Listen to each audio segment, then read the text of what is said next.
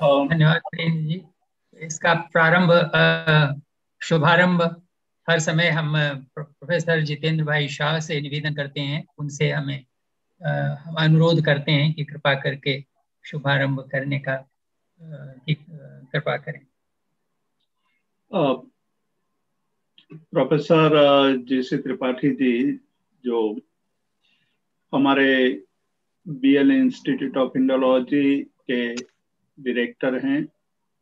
आज हमारे साथ हमारे संस्थान के अध्यक्ष महोदय, श्री राजकुमार जैन ओसवाल जी जुड़े हुए हैं।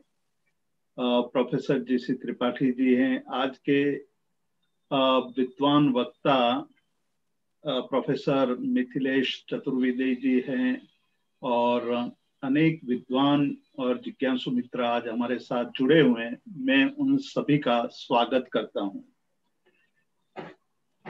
आईसीपीआर एवं Bhogilal Leherchand Institute of Indology के संयुक्त तत्वावधान में आयोजित आलोचनात्मक चिंतन, तर्क एवं भाषा दर्शन पर यह व्याख्यान श्रृंखला का यह द्वितीय व्याख्यान है। पिछले सप्ताह हमने प्रोफेसर गोदावरीश मिश्र जी से एक अत्यंत महत्वपूर्ण विषय पर व्याख्यान सुना। सभी श्रोताजनों ने बहुत ही रसपूर्वक सुना और स्वागत भी किया। उसी श्रृंखला में आज प्रोफेसर मिथिलेश चतुर्वेदी जी, भर्तृहरि का दर्शन और उसमें तर्क एवं आगम की स्थिति, इस पर व्याख्यान देंगे। आप सभी जानते हैं कि बोगीलाल लहचंद भारतीय संस्कृति विद्या मंदिर विगत चार दशकों से भारतीय विद्याओं के विविध विषयों पर अनेक विध कार्यक्रमों का आयोजन करता आ रहा है। आज इस श्रृंखला में एक और कार्यक्रम का सुयोग हो रहा है। अनेक राष्ट्रीय, अंतरराष्ट्रीय संगोष्ठियों का आयोजन किया है। प्राकृत भाषा के विषय में हमारे संस्थान के द्वारा विगत तीस सालों से प्रति वर्ष ग्रीष्म अध्ययन शाला का आयोजन होता है। देश एवं विदेश से अनेक जिज्ञासु प्राकृत भाषा सीखने के लिए यहाँ आते हैं। पूरे एक महीने तक प्राकृत भाषा का अध्ययन करते हैं। आज पूरे देश में प्राकृत भाषा के लिए जो जागृति आई है, उसमें हमारे संस्थान का विशेष योगदान है।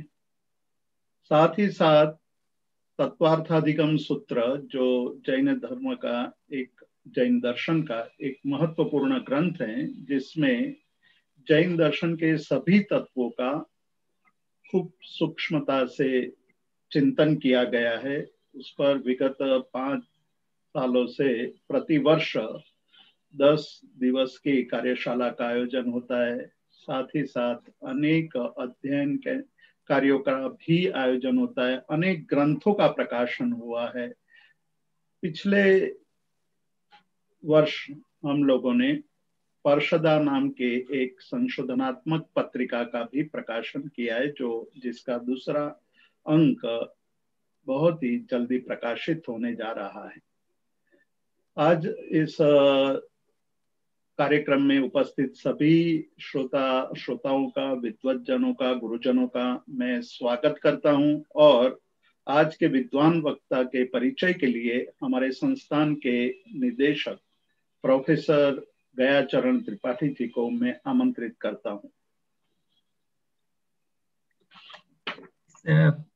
प्रवर्तन के लिए हम अपने उपाध्यक्ष महोदय, प्रोफेसर जितेंद्र शाह के आभारी हैं। मुझको भार दिया गया है कि मैं प्रोफेसर मिथिलेश चतुर्वेदी के विषय में कुछ दो शब्द कहूँ।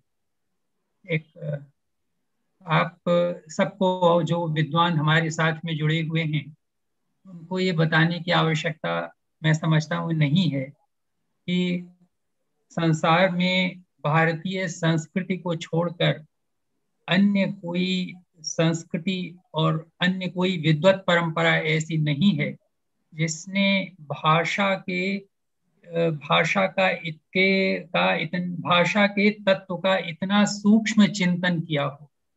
और ये चिंतन ऋग्वेद से ही प्रारंभ हो जाता है। ऋग्वेद में ही हमको वाक सूक्त के दर्शन होते हैं, जिसमें वाक की महत्ता का बहुत विस्तार से उल्लेख किया गया है। इसमें वाक स्वतः उत्तम पुरुष में अपनी महिमा का वर्णन करती है। इसके अतिरिक्त भी अनेक स्थानों पर वाक की और वाक के स्वरूप की व्याख्या की गई है और विशेष रूप से आप देखेंगे कि प्रथम मंडल का जो एक बहुत प्रसिद्ध सूक्त है जिसको हम लोग अस्यवामी सूक्त नाम से जानते हैं, उसमें भी भाषा के संबंध में, भाषा तत्व के संबंध में बहुत गंभीर चिंतन हमको प्राप्त होता है। तो वस्तुतः भाषा किस तरह से निर्मित हुई, किस तरह से शब्दों का निर्माण होता है, क्या उनका उनके प्रत्येक शब्द के मूल में किस क्या अवधारणा होती है, क्या बेसिक कॉन्सेप्ट जिसे कह सकते हैं, मूल अवधारणा क्या होती है, जिसको उन्होंने धातु की संज्ञा दी है और कैसे फिर उसमें उपसर्ग और प्रत्यय लग करके शब्दों का निर्माण होता है। प्रकार से संपूर्ण व्याकरण का जो एक ढांचा तैयार होता है, उसके ऊपर बहुत विस्तार से प्रकाश डाला गया लेकिन उसके बाद भी वस्तुतः भाषा के स्तर कितने होते हैं? केवल क्या हम जो बोलते हैं वही स्तर है? या जो चिंतन है वो स्तर है? या मन ही मन में कुछ कहने लगे, लेकिन उच्चारण न करें, वो एक स्तर है? अथवा एक ऐसा स्तर है जिसके विषय में हम लोगों को भान ही नहीं कि वो स्तर है? और क्या एक ऐसा स्तर भी है कि जो भाषा से परे है? इतने सारे उसके स्तरों की चिंता उन्होंने की है और भाषा दर्शन इन सब पर प्रकाश डालता है।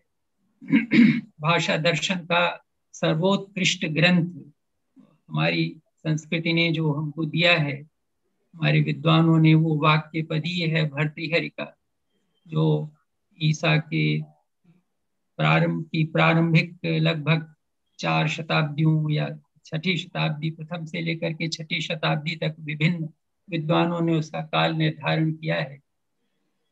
मेरी दृष्टि से संभवतः चौथी शताब्दी उचित होगा उसका काल निर्धारण करना। और वाक्य, वैसे तो व्याकरण दर्शन के ऊपर चिंतन नागेश्वर तक चलता रहा। नागोजी भट्ट तक अठारहवीं शताब्दी तक चलता रहा, लेकिन वाक्य पदी एक ऐसा ग्रंथ है जो कि सर्वोत्कृष्ट है और उसको, उसके आगे कोई नहीं बढ़ सका। वाक्य पदीय के जो इस समय देश में विशिष्ट विद्वान हैं, उनमें मूर्धन्य स्थान रखते हैं हमारे प्रोफेसर मिथिलेश चतुर्वेदी जी। और मिथिलेश चतुर्वेदी जी की वस्तुतः जो उनका शोध प्रबंध है, वह भी इसी के ऊपर है तो उन्होंने इसका एक बहुत ही विशिष्ट अध्ययन किया है। उसका वाक्य पदीय का जो वृत्ति समुद्देश अंश है, खंड है उसके ऊपर उन्होंने अपनी पीएचडी की थीसिस लिखी है। और उस, उनका ये 2000 सन 2001 में वृत्ति समुद्देश ऑफ़ वाक्य पदीय स्टडी के नाम से प्रकाशित भी हो चुका है। प्रोफेसर मिथिलेश चतुर्वेदी लगभग चार वर्षों तक दिल्ली विश्वविद्यालय में संस्कृत के विभागाध्यक्ष रहे। 2010 से 2013 तक और उसके पहले लगभग 30 वर्षों तक, अर्थात 1977 से लेकर के मार्च 2006 तक उन्होंने व्याख्याता और रीडर के रूप में वही दिल्ली विश्वविद्यालय में अध्यापन कार्य किया है। इसके साथ ही उस समय भी और अपने अवकाश प्राप्ति के बाद भी वे विभिन्न विश्वविद्यालयों की समितियों से विभिन्न विश्वविद्यालयों के अध्ययन, अध्यापन की जो योजनाएँ होती हैं या जो उनकी प्रवृत्तियाँ होती हैं, उससे वो जुड़े हुए हैं लाल बहादुर शास्त्री राष्ट्रीय संस्कृत विद्या, विद्यापीठ, अलीगढ़ मुस्लिम विश्वविद्यालय, जवाहरलाल नेहरू विश्वविद्यालय, इंदिरा गांधी राष्ट्रीय कला केंद्र। नामग्याल तिब्बती संस्थान बिरला फाउंडेशन दिल्ली इत्यादि इत्यादि संस्थाओं से वो जुड़े हुए हैं और उनमें भी अपना एक प्रकार से अपनी सलाह, परामर्श के रूप में और शैक्षिक योगदान आप देते रहते हैं। इनकी उच्चतर शिक्षा दिल्ली विश्वविद्यालय से हुई है। हिंदू कॉलेज से उन्होंने संस्कृत विषय में स्नातक एवं स्नातकोत्तर उपाधि प्राप्त की है। और जैसा कि मैंने कहा, यहीं से उन्होंने पीएचडी भी की है। इनके ग्रंथ कई हैं। अपने गुरुदेव अवनीन्द्र कुमार जी के ऊपर उनका इन्होंने फेलिसिटेशन वॉल्यूम एक अभिनंदन ग्रंथ भी निकाला है अवनी श्री के नाम से।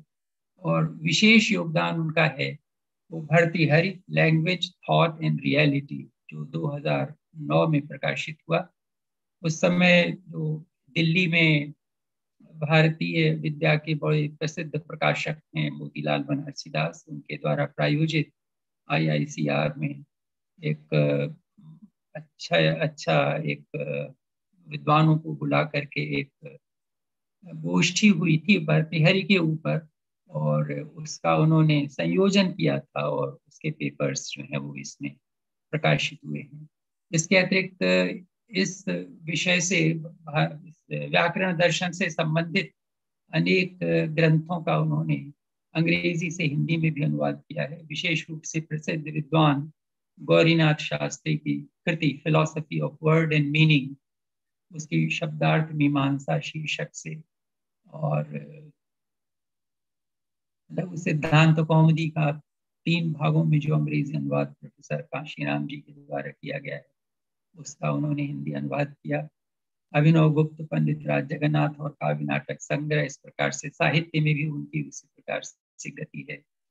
और अब उनकी एक, जो हाल में प्रकाशित कृतियाँ हैं, वो उपनिषद, नवनीत और वाक्यपदी विमर्श, विशेष रूप से ब्रह्म कांड की कारिकाओं पर।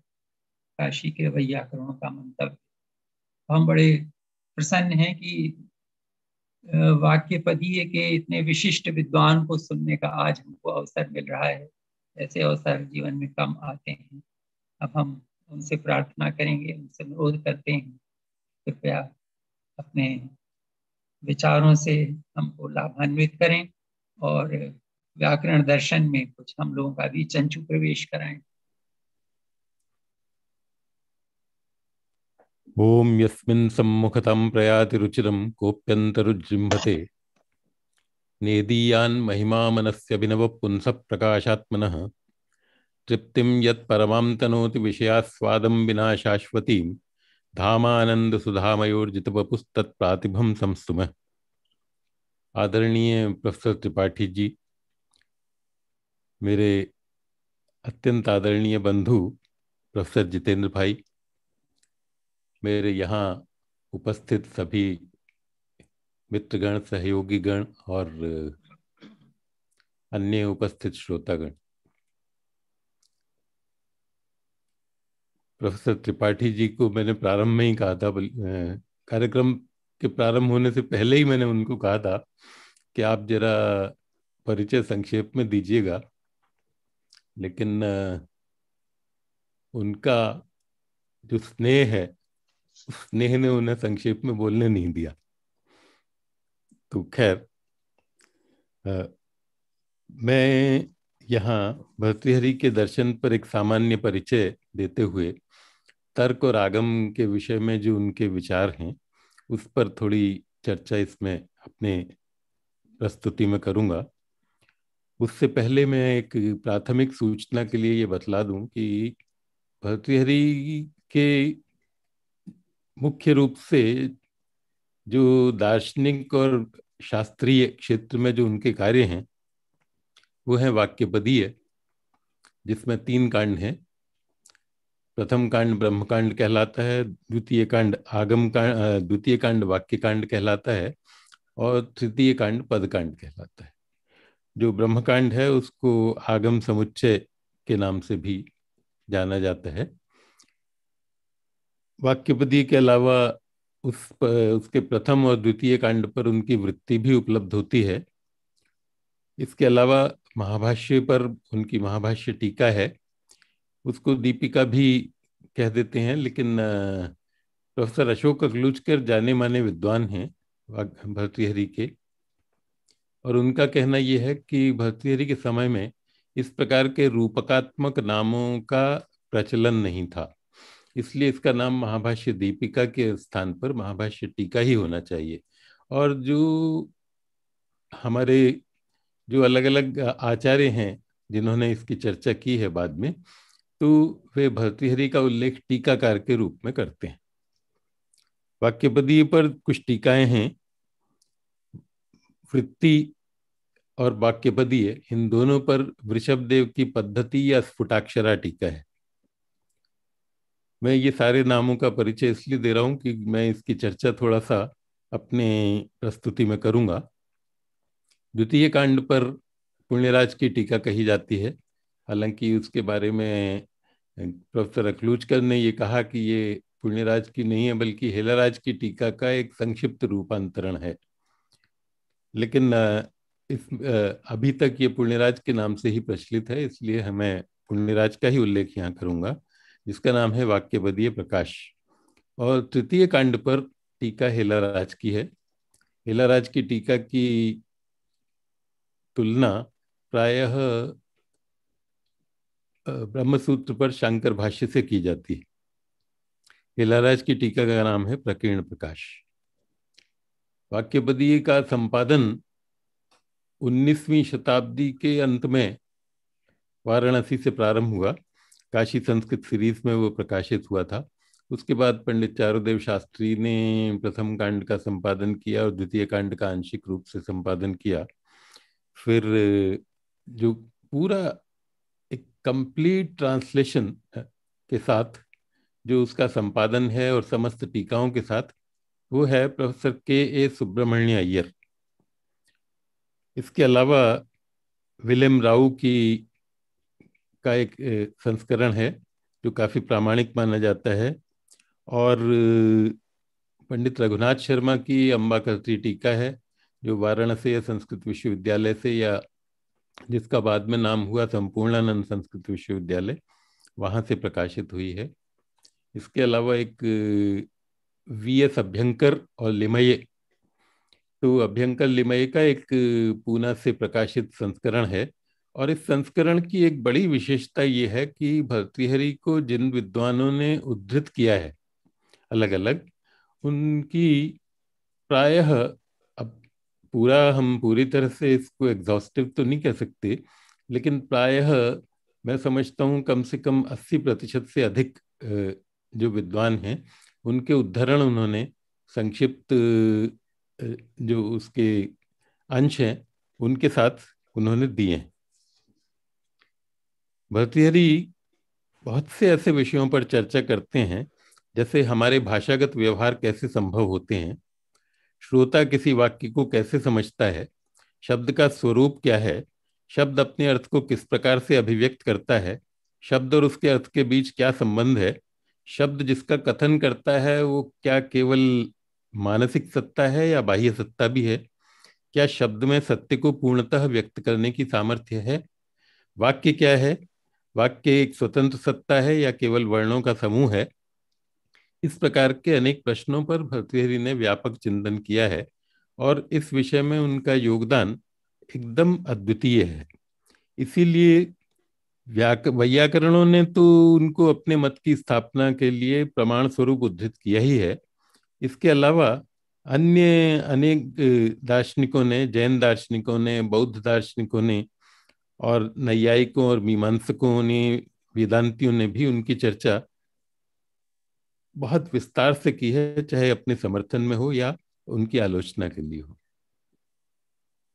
भर्तृहरि के सर्वाधिक चर्चित सिद्धांत शब्द ब्रह्मवाद और स्फोट सिद्धांत हैं। अपनी कारिकाओं में भर्तृहरि ने शब्द ब्रह्म पद का प्रयोग नहीं किया है और सामान्यतः यदि कहीं वृत्ति में उन्होंने शब्द ब्रह्म पद का प्रयोग किया भी है तो प्रायः ये शब्द ब्रह्म पद एक वेद के लिए प्रयुक्त हुआ है। लेकिन उन्होंने ब्रह्म को शब्द स्वरूप कहा है अपनी पहली ही कारिका में। अनादि निधनम ब्रह्म, शब्द तत्व यदक्षरम विवर्त तीर्थ भावे न प्रक्रिया जगतो यत। तो शब्द तत्व जब वो कहते हैं तो इसका अर्थ है कि वो ब्रह्म को शब्द स्वरूप मानते हैं। और इसलिए उनके दर्शन को शब्द ब्रह्मवाद या शब्दाद्वैतवाद के नाम से अभिहित किया जाता है। भरतहरि के दर्शन में परम तत्व अर्थात ब्रह्म शब्द स्वरूप है। विकारों में प्रायः प्रकृति का अनुगम देखा जाता है। सुवर्ण से बने पदार्थों की प्रकृति सुवर्ण है और मिट्टी से बने पदार्थों की प्रकृति मिट्टी है। कार्य में कारण के धर्मों का ये समन्वय देखकर सभी दार्शनिक कार्य से कारण का अनुमान करते हैं। इस दृष्टि से देखें तो प्रत्येक पदार्थ अंततः एक शब्द रूप से जुड़ा हुआ है। पदार्थ के विषय में हमारे ज्ञान में शब्द की चेतना अवश्य रहती। घट शब्द और घट अर्थ में तादाद में देखा जाता है। यदि अर्थ केवल मात्र शब्दात्मक होता तो शब्द से केवल शब्द का ही बोध होता पदार्थ का बोध नहीं होता। केवल शब्द स्वरूप की ही उससे प्रतीति होती। इसी आधार पर वैयाकरण ने शब्द तत्व को नाम रूपात्मक जगत का कारण माना है। और ये वृत्ति में कहा है विकाराणाम प्रकृत्यन्वयित्वात्, शब्दोपग्राह्यतया शब्दोपग्राहितया च शब्द तत्व अभिधीयते। प्रत्येक विकार शब्द के द्वारा ग्राह्य है और किसी न किसी शब्द का ग्रहण कराने वाला भी है। इसलिए उनका जो मूल कारण है, परब्रह्म उसको शब्द तत्व कहा गया है। हमारे सभी व्यवहार, सभी क्रियाएँ शब्द द्वारा संभव होते हैं। ये घट है, ये पट है, इस प्रकार के पदार्थगत भेद शब्द के माध्यम से ही संभव होते हैं। वाक की महत्ता को दिखलाते हुए भर्तृहरि कहते हैं कि दर्शन भेद से जगत को जिस रूप में भी देखें, चाहे बाह्य जगत की वस्तु सत्ता हो या वह मात्र बुद्धि की रचना हो उसकी हमारी समझ भाषा से ही निर्धारित होती है। दूसरी तरफ़, अत्यंत असत पदार्थ, जैसे शश श्रृंग खरगोश के सिंह आकाश पुष्प या अलात चक्र, इनमें भी शब्द द्वारा एक मानव अर्थ का, को उत्पन्न करके उन्हें एक स्वरूप दे दिया जाता है। इसलिए भर्तृहरि ने कहा है, अत्यंतम अतथा भूते निमित्ते श्रुत्युपाश्रयात, दृश्यते लात चक्रादौ वस्तुआकार निरूपणा। भर्तृहरि के दर्शन की ये तत्व मीमांसा इस मायने में विलक्षण है कि उन्होंने परब, परम तत्व को शब्द स्वरूप कहा है। और इसलिए उनके मत की आलोचना भी पर्याप्त हुई है। नैयायिक, मीमांसक, जैन और बौद्ध दार्शनिकों ने उनके मत की आलोचना की। दूसरी ओर ऐसे दर्शन भी हैं जहाँ उनकी प्रारंभिक आलोचना के बाद भी उनका उल्लेख बहुत आदर के साथ किया गया है। शंकर स्फोटवाद और शब्द ब्रह्मवाद की पर्याप्त आलोचना करते हैं, लेकिन चित्सुखी के टीकाकार प्रत्यक्ष स्वरूप, अद्वैत वेदांत, शंकर वेदांत के का ग्रंथ है चित्सुखी, उसके टीकाकार प्रत्येक स्वरूप उनका उल्लेख ब्रह्मविद प्रकांड के रूप में करते हैं। प्रत्यभिज्ञा दर्शन के आचार्य सोमानंद नाथ ने तो उनकी बहुत कटु आलोचना की लेकिन सोमानंद के शिष्य उत्पल देव और उत्पल देव के प्रशिष्य अभिनव गुप्त, भर्तृहरि से यत्र तत्र असहमत होते हुए भी उनका उल्लेख अत्यंत सम्मान के साथ करते हैं। उत्पल देव उन्हें विद्वत भर्तृहरि कहते हैं।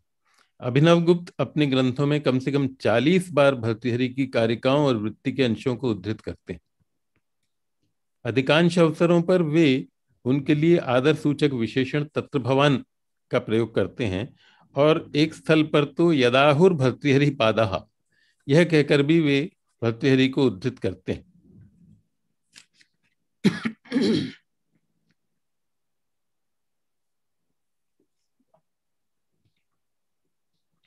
भर्तृहरि के मत में प्रत्येक ज्ञान और प्रत्येक विचार में शब्द की भूमिका है। प्रत्यक्ष हो या अनुमान शब्द के बिना वह हमारी पकड़ में नहीं आ सकता। इस बात को वे अनुभव से प्रमाणित करते हैं। जो भी ज्ञान हमारे अनुभव में आता है, उसका शब्द के साथ तादात्म्य प्रतीत होता है। इसलिए भर्तृहरि कहते हैं कि संसार में कोई ज्ञान नहीं है जो शब्द से न जुड़ा हुआ हो। समस्त ज्ञान शब्द में अनुविध सा भाषित होता है। अनुविधमेव ज्ञानम सर्वम शब्देन भाषते अनुविधमेव कहने का तात्पर्य यह है कि ज्ञान और शब्द अपृथक रूप में भाषित होते हैं। इसलिए वाक्यपदीय के संबंध समुद्देश का जो प्रथम कारिका है, उसकी टीका में हेलाराज कहते हैं कि घट कहने पर शब्द, अर्थ और ज्ञान इन तीनों का ही मिश्रण होता है। लोली भूतानी शब्दार्थ ज्ञानानि घट इतम अवगम्यंते ऐसा कहा जाता है कि नवजात शिशु का ज्ञान शब्द से असंबद्ध है, क्योंकि उसे भाषा का ज्ञान नहीं है। किंतु भर्तृहरि मानते हैं कि शिशु में भी संस्कार के रूप में शब्द विद्यमान है। अन्यथा वह प्रथम बार वर्णों के उच्चारण का प्रयास ही न करे। चॉम्स्की ने कहा है कि मनुष्य में भाषा की सहजात सामर्थ्य है। भर्तृहरि के मत में यह सामर्थ्य उसे पूर्व जन्म के संस्कारों से प्राप्त हुई है। हेलाराज कहते हैं कि शिशु भाषा का ग्रहण इसलिए कर पाता है क्योंकि उसमें जन्म से ही भाषा विद्यमान है। अभिनव गुप्त कहते हैं कि यदि आंतर विमर्श न हो तो वृद्ध व्यवहार को देखकर भी बालक का, बालक को शक्ति ग्रह नहीं होगा हम लोग ये ये प्रायः ग्रंथों में माना गया है कि बालक जो है शब्द के अर्थ को कैसे समझता है। तो वो पहली बार शब्द को सुनता है तो उसे शब्द और अर्थ के संबंध का ज्ञान नहीं। जब वो सुनता है किसी, की कोई व्यक्ति दूसरे से कहता है, घड़ा लाओ। और वो सामने घट पदार्थ को देखता है।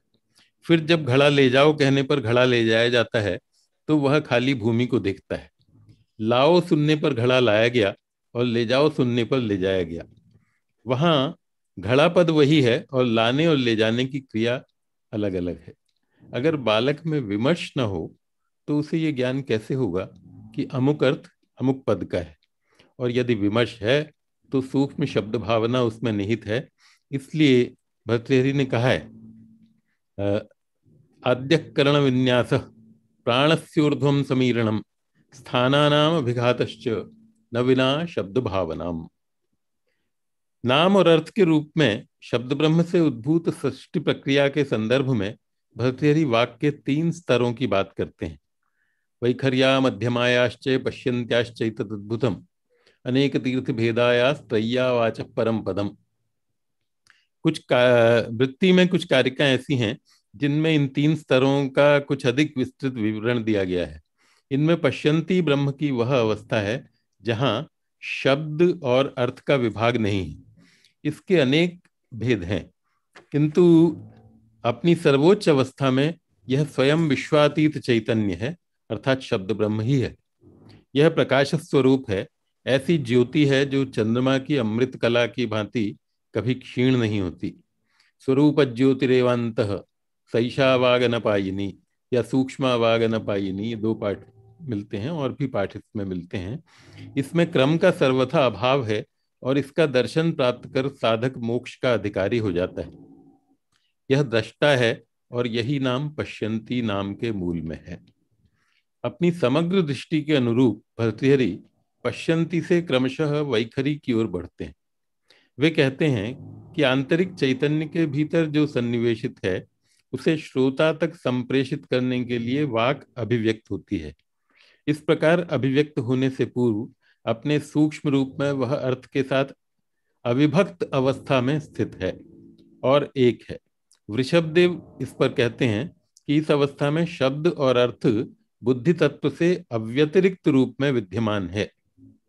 इसे एक कहने का कारण यह है कि यह अर्थ से भी अभिन्न है और स्वतः भी इसमें अभेद है। भर्तृहरि के मत में यह पश्यंती अवस्था ही है, जिसे अन्यत्र वे अविभागा और संघृतक क्रमा कहते हैं। अविभागा तो पश्यंती, सर्वतः संघृतक क्रमा। नाम की दिशा में पश्यंती की प्रथम अभिव्यक्ति मध्यमा है। मध्यमा मानसिक स्तर की सत्ता है और एक प्रकार का बुद्धिगत संवाद है। ऋषभदेव कहते हैं कि अमुक शब्द का उच्चारण करूँगा हम लोग जब बोलते हैं तो कई बार सोचते हैं कि ये इस बात को कहूँगा, ये बात बोलूँगा। तो इस प्रकार से बुद्धि में शब्द का जो आकार बनता है, वह मध्यमा वाक ही है। यद्यपि एक बुद्धिनिष्ठ होने के कारण इसमें क्रम नहीं है, तथापि प्राणवृत्ति द्वारा इसका परिग्रह होता है। इसलिए यह क्रमयुक्त सी प्रतीत होती है। ये ऋषभ देव का उदाहरण है। यद्यपि एक बुद्धि निष्ठत्वाद नास्तिक क्रम, तथापि व्यक्तया प्राणवृत्त्या तदानीमपि अस्ति परिग्रहो अस्याह वैखरी वाणी सभी मनुष्यों द्वारा अपने दैनिक व्यवहार में प्रयुक्त भाषा है। प्राणों के व्यापार के फलस्वरूप जब उच्चारण स्थानों में व्यक्त वर्णों की उत्पत्ति होती है तो उसे व्यक्त वर्णा वाक कहा जाता है। यदि शब्द स्पष्ट उच्चारण वाले हों और व्याकरण सम्मत संस्कार से युक्त हों तो वह वैखरी का साधु शब्द कहा जाने वाला भेद है। किंतु यदि व्याकरणगत संस्कार न हो या उच्चारण में अस्पष्टता हो तो वह अपभ्रंश वाक है। वीणा, दुंदुभी इत्यादि के स्वर में वैखरी का श्लिष्ट अर्थात अव्यक्ताक्षर रूप है। कश्मीर शैव दर्शन के आचार्य सोमानंद नाथ ने भर्तृहरि की आलोचना करते हुए कहा है कि वे पश्यंती को ही परम तत्व मानते हैं, जबकि सोमानंद के अनुसार पश्य पश्यंती मात्र परम तत्व की ज्ञान शक्ति है, जिसे वे सदाशिव रूप कहते हैं। अथास्मागम ज्ञान शक्ति या सदाशिव रूपता वैयाकरण साधु नाम सा पश्यंती पराहिवा सा पश्यंती परास्थिति। वैयाकरण साधु नाम शब्द का प्रयोग करते हैं।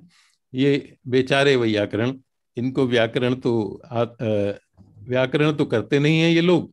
और दर्शन के क्षेत्र में ज़बरदस्ती घुसने का प्रयास करते हैं, ऐसा सोमानंद नाथ ने कहा है। सोमानंद के अनुसार, वैयाकरण पश्यंती से उच्चतर अवस्था की बात नहीं करता। उनका प्रश्न है कि क्योंकि पश्यंती के मूल में जो दृष्ट धातु है, वह तो सकर्मक है तो फिर पश्यंती का कर्म क्या है? पश्यंती किसको देखती है? यदि पश्यंती घटपट आदि बाह्य पदार्थों को देखती है तो वे सत्य हैं या असत्य? उन्हें सत्य तो आप कह नहीं सकते, क्योंकि आपके सिद्धांत में वे विवर्त रूप हैं। यदि पश्यंती असत्य पदार्थों का दर्शन करती है तो फिर असत्य के साथ संबंध होने के कारण यह भी असत्य है। इसी प्रकार के आक्षेप करते हुए सोमानंद कहते हैं कि वाक तो मात्र कर्मेंद्रिय है, उसे आत्मा या ब्रह्म कहेंगे तो हाथ इत्यादि जितनी भी इंद्रियाँ हैं, उन सबको भी ब्रह्म कहना पड़ेगा। ये स्पष्ट है कि बश्यंती भरतीहरि पश्यंती को मात्र वागेंद्रिय के रूप में नहीं देखते। उनके मत में शब्द चैतन्य रूप ही है। उन्होंने ये कहा है, तस्मात चितिक्रिया रूपम अलब्ध वाक शक्ति परिग्रह न विद्यते। चितिक्रिया का रूप जो है, वो वाक शक्ति के बिना नहीं है। वाक तत्व रूपमेव चितिक्रिया रूपम इत्यन्य। दूसरा मत ये है कि वाक तत्व रूप ही जो है, वो चिति रूप है। इसलिए भर्तृहरि पश्यंती को संघृत क्रम और स्वरूप ज्योति कहते हैं। स्वयं सोमानंद के शिष्य उत्पल देव त्रिक दर्शन में वाक को सर्वोच्च स्तर देते हैं। वे इस प्रसंग में परावाक की स्वीकृति को आवश्यक मानते हैं। एवं सूक्ष्मतरा अन्या पररूपा स्थितिरस्ति ततः साप्यनुमंतव्या।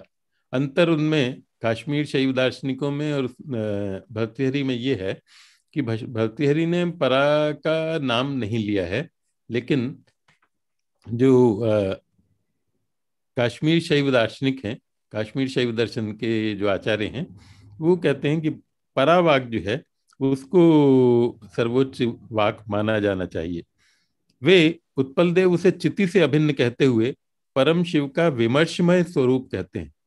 प्रकाश और विमर्श, ये दो पक्ष उन्होंने परम शिव के माने हैं और परम शिव का जो विमर्शमय स्वरूप है, वह परावाक है उनके हिसाब से। इसलिए वो कहते हैं चिति प्रत्यवमर्शात्मा परावाक स्वरसोदिता स्वातंत्रमेतन मुख्यम तद ऐश्वर्यम परमात्मन। शुद्ध अहम प्रत्यवमर्श की भी वो बात करते हैं अहम प्रत्यवमर्शो यह प्रकाशात्मा वाग वपु अहम प्रत्यवमर्श जो है, प्रकाशात्मा, उसको उन्होंने वाग्वपु कहा है उत्पल देव ने ईश्वर प्रत्यभिज्ञा कारिका में। तो शुद्ध अहम प्रत्यवमर्श की वागरूपता दिखलाते हुए अभिनव कहते हैं कि श्रोत्रग्राह्य शब्द से भिन्न एक और वाक है जो संविद के रूप में समाविष्ट है। ये हमारे भीतर अवभाषित होती है। इसी संदर्भ में उत्पल देव ने परम शिव को वाग्बपु कहा है। अतः वाक को जो महत्व भरतहरि के दर्शन में प्राप्त है, उसका स्पष्ट प्रभाव कश्मीर शैव दर्शन पर दिखलाई देता है।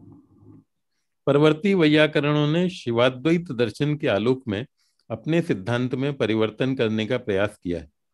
हेलाराज पश्यंती और परा को एक ही मानते प्रतीत होते हैं। वे कहते हैं कि संविद, जो पश्यंती रूपा परावाक है, शब्द ब्रह्म स्वरूप है। संविच्च पश्यंती रूपा परावाक, शब्द ब्रह्ममयी। इति ब्रह्म तत्व शब्दात पारमार्थिका न भिद्यते। नागेश तो वाक्य चतुर्धा विभाजन को ही मानते हैं।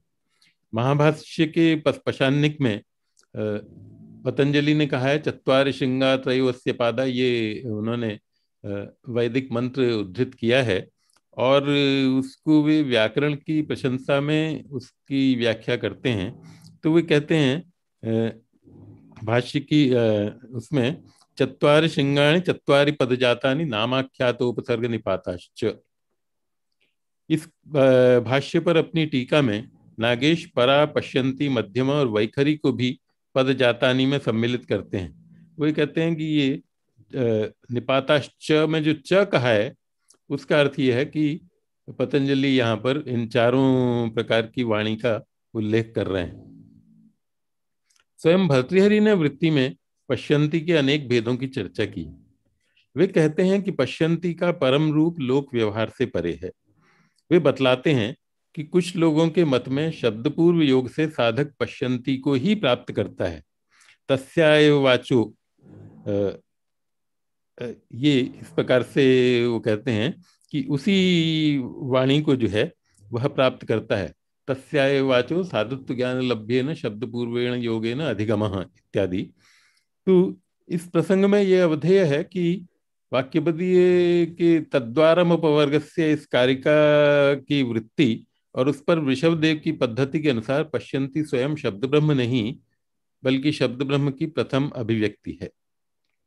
वृत्ति के अनुसार प्रतिभा वाणी के समस्त विकारों की प्रकृति है और स्वयं भेद से परे है।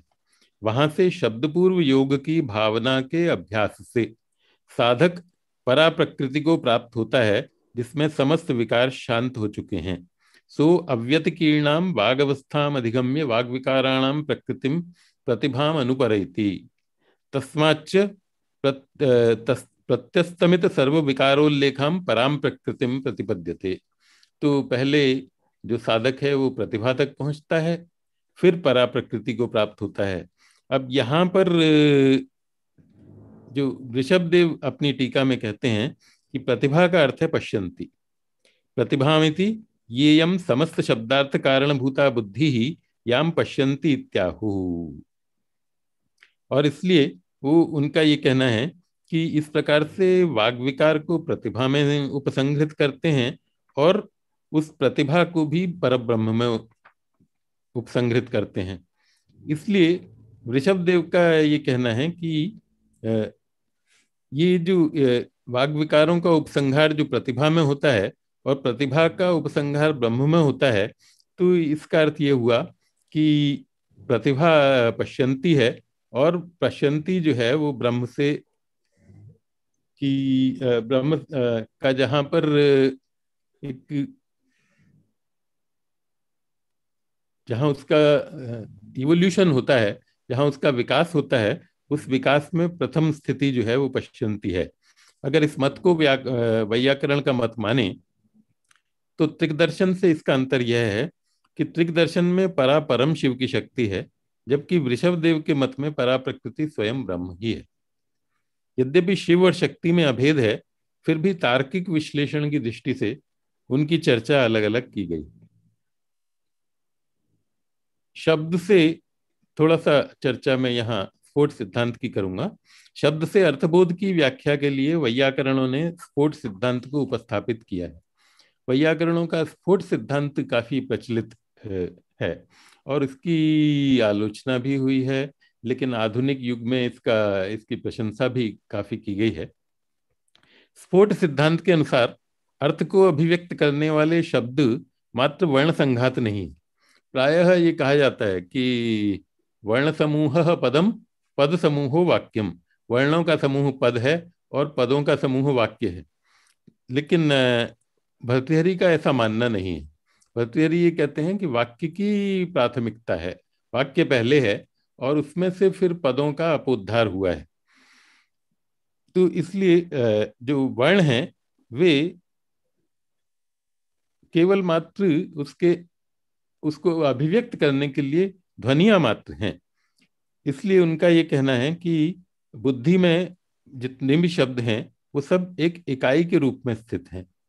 कुमारिल के मत में पूर्व पूर्व वर्णों के संस्कारों से युक्त अंतिम वर्ण अर्थ को अभिव्यक्त करता है। मंडन मिश्र ने स्फोट सिद्धि में इस मत की आलोचना की। सर्वदर्शन संग्रह में दिए गए निर्वचन के अनुसार स्फोट वह है जो वर्णों द्वारा अभिव्यक्त होता है और अभिव्यक्त होने पर जो अर्थ को अभिव्यक्त करता है। इस प्रकार स्फोट वर्णों से भिन्न है और नागेश के शब्दों में कहें तो वह अर्थ का वाचक है। इस प्रकार से भर्तृहरि जिसे उच्चरित ध्वनियों का कारणभूत बुद्धिस्त शब्द कहते हैं। अरणस्थम यथा ज्योति ही प्रकाशांतर कारणम तद्वत शब्दों भी बुद्धिस्थ श्रुति नाम कारणम पृथक।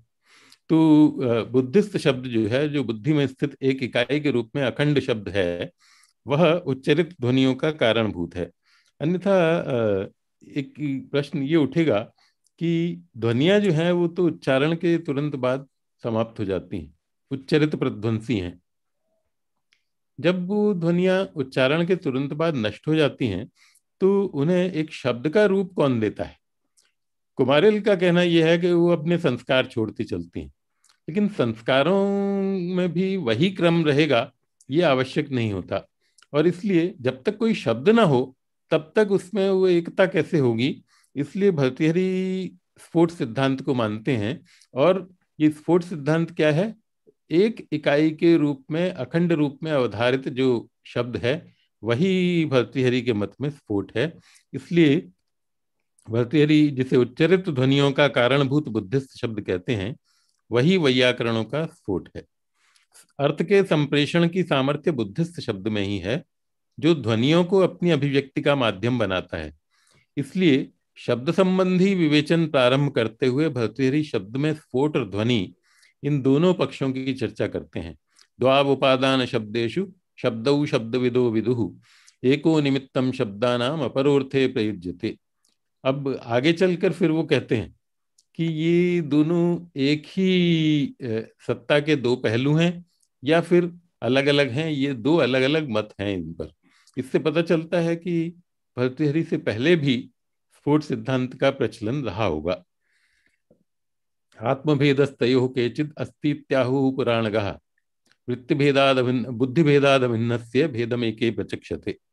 भर्तृहरि की अवधारणा में शब्द एक अखंड समग्रता है, जिसे ध्वनियों की अनेकता के द्वारा अभिव्यक्त किया जाता है। वे शब्द और स्फोट का प्रयोग परस्पर विनिमेय शब्दों के रूप में करते हैं, जिससे स्पष्ट है कि अर्थ संप्रेषण में समर्थ एक इकाई के रूप में अवधारित शब्द ही उनके मत में स्फोट है। मंडन मिश्र ने जो परिभाषा दी है, मंडन मिश्र ने अपनी स्फोट सिद्धि में भर्तृहरि के स्फोट सिद्धांत को एक तार्किक रूप देते हुए प्रस्तुत किया है। उनके अनुसार शब्द वह है जो अर्थबोध को उत्पन्न करता है। अर्थावसाय प्रसव निमित्तम शब्द इष्यते वस्तुतः स्फोट ही क्रम रहित रूप में श्रोता की बुद्धि में प्रविष्ट होकर अर्थ को व्यक्त करता है। किंतु अखंड और अक्रम शब्द, अर्थात स्फोट को अभिव्यक्त करके ध्वनिया अर्थ के प्रत्यायन में निमित्त बनती हैं। पुण्यराज कैयट और नागेश के अनुसार, अर्थ का वाचक शब्द ही स्फोट है। मंडन मिश्र कुमारिल की आपत्ति है कि वर्ण अथवा ध्वनिया पद एवं वाक्य से संबंधित अथवा उसमें निहित स्फोट को अभिव्यक्त नहीं करते। तो मंडन मिश्र कहते हैं कि हमें इस आपत्ति का खंडन करने की आवश्यकता ही नहीं है, क्योंकि पद और वाक्य का स्फोट कुछ होता ही नहीं है। पद और वाक्य अपने आप में ही स्फोट है। वे कहते हैं कि वर्णों के विज्ञान से ऊपर शब्द के विज्ञान की प्रतीति स्पष्ट रूप में होती है, जिससे यह स्पष्ट है कि स्फोट प्रत्यक्ष प्रतीति का विषय है। इसलिए ये कहना उचित नहीं है कि स्फोट कोई अतीन्द्रिय, रहस्यात्मक और देश कालातीत सत्ता है। ये जो चर्चा कर रहे थे प्रोफेसर जी सी त्रिपाठी जी, जिस ग्रंथ की, जिसको मैंने एडिट किया है। तो 2003 में एक कॉन्फ्रेंस हुई थी इंटरनेशनल सेमिनार ऑन भर्तृहरि उसके जो प्रोसीडिंग्स हैं, वो Bhartrihari language thought and reality इस वॉल्यूम में 2009 में प्रकाशित हुए। और उसमें जाने माने नैयायिक बड़े नैयायिक हैं जो आजकल प्रोफेसर पी के मुखोपाध्याय उन्होंने ये कहा था कि भर्तृहरि तो हमको कोई फिलोसफी ऑफ़ लैंग्वेज देते ही नहीं है। ज़्यादा से ज़्यादा उनका स्पोर्ट सिद्धांत ऐसा माना जा सकता है जिसको हम लैंग्वेज फिलोसफी मान सकते हैं। लेकिन उन, उन्होंने ये शब्द दिए हैं उसको मैं कोट कर रहा हूँ। However philosophy of language is hardly interested in tracing its origin back to some super sensible mystic trans spatio temporal entity like sphota कि स्फोट जो है वो एक अतीन्द्रिय एक रहस्यात्मक देश काल से परे एक सत्ता जो है उसमें भाषा दर्शन का की कोई रुचि नहीं हो सकती तो ये कहना उचित नहीं है क्योंकि मंडन मिश्र तो साफ़ करते हैं कि भाई हमको कैसे ये तय करेंगे कि प्रत्यक्ष वेद्यता है स्फोट की? कथम प्रत्यक्ष वेद्यता स्फोटात्मन। वर्ण विज्ञान विलक्षण से पश्चात गौरित विज्ञान से निरालंबनत्व अयोगात वो कहते हैं कि जब हम गौ शब्द का उच्चारण करते हैं या किसी भी दूसरे शब्द का या किसी वाक्य का उच्चारण करते हैं तो हमें ये अनुभूति होती है कि ये एक पद है या एक वाक्य है। ये एक, पिछली बार एक संगोष्ठी में ये चर्चा मैंने की थी और उसमें अध्यक्ष थे प्रोफेसर आर सी पंडा, उन्होंने ये प्रश्न उठाया था अपने अध्यक्षीय भाषण में। तो अध्यक्षीय भाषण का तो उत्तर दिया नहीं जा सकता, लेकिन उन्होंने ये प्रश्न किया था कि अगर ये स्पोर्ट प्रत्यक्ष गम्य सत्ता है तो इसका ग्रहण किस इंद्रिय से होता है? तो हम साफ़ तौर पर मान सकते हैं कि जिस इंद्रिय से हम सुख, दुख इत्यादि का ग्रहण करते हैं, मन से या बुद्धि से, उसी से इस बात का ग्रहण होता है कि ये एक पद है या यह एक वाक्य है।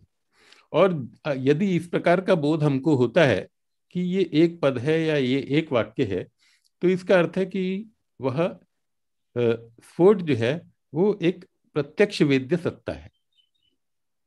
पुण्यराज स्फोट के दो प्रकारों की बात करते हैं, अभ्यंतर और बाह्य। बाह्य सत्ता के रूप में इसे व्यक्ति अथवा जाति दो रूपों में देखा जा सकता है, जबकि आभ्यंतर सत्ता के रूप में यह चैतन्य रूप है। शब्द और अर्थ उभयात्मक है और प्रतिभा के साथ एकात्म है। यहाँ शब्द और अर्थ अविभक्त रूप में स्थित हैं। भरतहरि शब्द को अंतकरण में अवस्थित शक्ति कहते हैं, जो मयूरी के अंडे में विद्यमान रस की भांति है।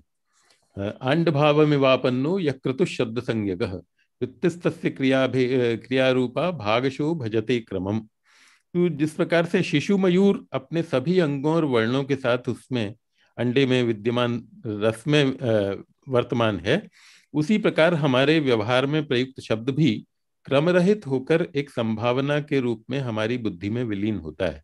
किंतु वहाँ सूक्ष्म क्रम भावना अवश्य है। अपने आभ्यंतर स्वरूप में यहाँ स्फोट निष्क्रम भाषा तत्व है, जहाँ शब्द और अर्थ का विभाग नहीं है। इस स्तर पर सभी भाषाएँ समान हैं। यदि हम ये कहें कि स्फोट जो है वो निष्क्रम भाषा तत्व है तो ये भर्तृहरि ने अपनी वृत्ति में एक स्थल पर कहा है कि यथा वाग देश भेदेन भिन्ना, एकाभिधेय निबंधनत्व अव्यतिक्रांता। कि वाग जो है वो देश भेद से अलग अलग होते हुए भी उसके स्वरूप में भेद हो सकता है, लेकिन फिर भी उसका जो अभिधेय है, वह एक है। और वह अलग अलग देशों के भेद की कल्पना जो है, उसकी कारण बनती है इस प्रकार से भाषा। तो इस प्रकार से ये जो भाषा, जो निष्क्रम भाषा तत्व है, वो आभ्यंतर स्फोट है। जिसमें शब्द और अर्थ का विभाग नहीं है। इसीलिए विभिन्न भाषाएँ अनुवाद के योग्य होती हैं। अगर अपने अंतरतम में सारी भाषाएँ एक नहीं होती तो हम उस, उनको ट्रांसलेटेबल भी नहीं होती उनका हम अनुवाद नहीं कर सकते थे। वक्ता में अभिव्यक्ति की इच्छा होने पर, आंतरिक शब्द वृत्ति के प्रतिबुद्ध होने पर, यह प्रतिलीन शब्द विभाग और क्रम को धारण करता है। पूर्ण अभिव्यक्ति की स्थिति में शब्द क्रम में उत्पन्न ध्वनियों के माध्यम से आकार लेता है और तब श्रोता भी इसे एक बुद्धि में ग्रहण करता है। बुद्धि में अवधारित यह पद अथवा वाक्य एक अखंड इकाई है और इसकी अभिव्यक्ति उच्चरित प्रध्वंसी ध्वनियों के माध्यम से होती है। महाभाष्य टीका में भी भरतहरी जो पतंजलि का जो कथन है, ये नोच्चारित न शास्नालांगूल ककुद खुर विषाणिनाम संप्रत्यो भवती स शब्द। कि जिसके उच्चारण से उस प्राणी का बोध होता है सासना लांगुल इत्यादि से युक्त जो प्राणी है, उसका बोध होता है, वही वास्तव में शब्द है। तो उसी उस कथन पर टिप्पणी करते हुए भर्तृहरि कहते हैं कि ये बुद्धिस्त शब्द स्वरूप है, जिससे अर्थ का बोध होता है। वो कहते हैं कि योवायम उच्चार्यते क्रमवान अवरह। जो उच्चारण होता है, क्रमवान शब्द, वह अवर शब्द है। कश्चित अन्य अक्रम शब्दात्मा बुद्धिस्थो बिगाहते उससे कोई भिन्न बुद्धि में शब्द है, जो अक्रम रूप में विद्यमान है। तस्माद अर्थ प्रतिपत्ति। ही उस अक्रम शब्द से, उस अखंड शब्द से अर्थ की प्रतिपत्ति होती है। ध्वनियों का काम क्या है? ध्वनियों का काम केवल मात्र शब्द के स्वरूप का बोध करा देना है। तो जो ध्वनिया हैं, वे स्वरूप निबंधन है, ये वो ये कहते हैं। यथैव अर्थांतर निबंधनो नार्थांतरम प्रत्यायति, एवं स्वरूप निबंधनो न उत्साहते प्रत्यायतुम। यानी स्वरूप निबंधन जो ध्वनिया है, जो स्वरूप का बोध कराने के लिए हैं, वे अपने स्वरूप का बोध कराकर उनका काम पूरा हो जाता है। उसके बाद जो वो बुद्धिस्ट शब्द है, वह अर्थ का बोध कराता है। इसीलिए अलग अलग एक ही कई बार होता है, हम देखते हैं कि एक ही से वर्ण है, लेकिन उन समान वर्णों के होते हुए भी जरा सा क्रम आप बदल दीजिए तो शब्द का अर्थ, पूरा का पूरा वाक्य का अर्थ बदल जाता है। एक चित्रकाव्य में इस प्रकार के हमको बहुत उदाहरण दिखलाई देते हैं। तो एक एक छोटा सा उदाहरण मैं यहाँ दे रहा हूँ हिंदी से। एक ऋषिकेश चतुर्वेदी थे, आगरा में चित्रकाव्य लिखा करते थे और उन्होंने एक रामकृष्णायन नाम से एक काव्य लिखा है। उस रामकृष्णायन में एक तरफ़ से आप पढ़ें तो वो राम के लिए है और दूसरी ओर से वो पढ़ें तो कृष्ण के लिए है। उसकी जो पहली पंक्ति है वो है, रामा हरें कष्ट ई तीव्र धारा। राम कष्टों की तीव्र धारा का हरण करते हैं। अगर उसको उल्टा पढ़ें तो उसका उसका जो शब्द बनते हैं, वाक्य बनता है, वह है राधावृति इष्ट करें हमारा। राधावृति भगवान कृष्ण, हमारा इष्ट, हमारा जो प्रिय है, वह करें। तो अलग अलग इस प्रकार के बहुत उदाहरण दिए गए हैं। नदी, दीन, सरह, रसह, जरा, राज इत्यादि। इस प्रकार के अनेक उदाहरण दिए गए हैं, जहाँ क्रम बदल देने पर वर्ण वही रहते हैं, लेकिन शब्द बदल जाता है और शब्द का अर्थ बदल जाता है। इसका मतलब है कि शब्द वह है जो हमारी बुद्धि में स्थित है। इसलिए वो कहते हैं, भरतहरी कहते हैं कि ध्वनियों द्वारा क्रम में उच्चरित शब्द जो है, वह अवर शब्द है, जिसका कार्य केवल अपने स्वरूप को व्यक्त करना है, इसलिए वो सीधे अर्थ की प्रतीति नहीं करा सकता। इसके बाद मैंने अपने इस प्रस्तुति में भाषा की जो इकाई है, भर्तृहरि भाषा की इकाई वाक्यों को मानते हैं और दूसरे जो संप्रदाय हैं उनके अनुसार पद वर्णों का समूह है और वाक्य पदों का समूह है। लेकिन भर्तृहरि के अनुसार वाक्य पहले है और व्याकरण शास्त्र भाषा को पदों में विभाजित करता है, पदों को प्रकृति प्रत्यय के रूप में विभाजित करता है लेकिन ये केवल मात्र काल्पनिक पृथककरण हैं, जिन्हें भर्तृहरि ने अपोद्धार कहा है। और इसलिए वो तृतीय कांड के प्रारंभ में पद कांड नाम है इसका, उसके प्रारंभ में ही वो कहते हैं कि वाक्य में पदों का, वाक्य का पदों में विभाजन केवल मात्रिक परवर्ती विश्लेषण है, वैसे ही जैसे पद में प्रकृति और प्रत्यय का विभाजन। द्विधा कश्चित पदम भिन्नम चतुर्धा पंचधा पिवा अपोधृत्य वाक्यभ्य प्रकृति प्रत्ययादिवत। तो वाक्य से पदों का जो अपोद्धार है, वह वाक्य के विश्लेषण के लिए एक सुविधाजनक उपाय मात्र है। अपने जो मत है, उसके समर्थन में भर्तृहरि ने निरुक्त में उद्धृत औदुम्बरायण और साथ ही वार्ताक्ष के मत का उल्लेख किया है।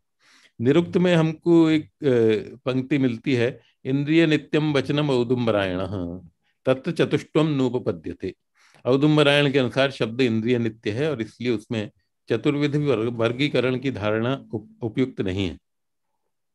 दुर्गाचार्य की व्याख्या के अनुसार ये कथन शब्द की अनित्यता का प्रतिपादन करता है। वे इंद्रिय शब्द को वागेंद्रिय और श्रोत्रेंद्रिय के अर्थ में लेते हैं। तो उनकी व्याख्या के अनुसार वाक्य की सत्ता तभी तक है जब तक वह वागेंद्रिय और श्रोतेंद्रिय में है। उच्चारण के समय भी संपूर्ण वाक्य इंद्रिय में एक साथ नहीं रहता, इसलिए इसके चतुर्विध विभाजन की कल्पना असंगत है। भर्तृहरि औदुम्बरायण का सर्वथा नवीन व्याख्यान करते हैं। वे इंद्रिय शब्द को बुद्धि के अर्थ में लेते हैं। उनके अनुसार वाक्य बुद्धि में अखंड रूप में स्थित है और उसी का संबंध अर्थ का, अर्थ के साथ होता है, इसलिए पदों का अस्तित्व तो वास्तव में है ही नहीं। पद केवल मात्र अपोद्धार है।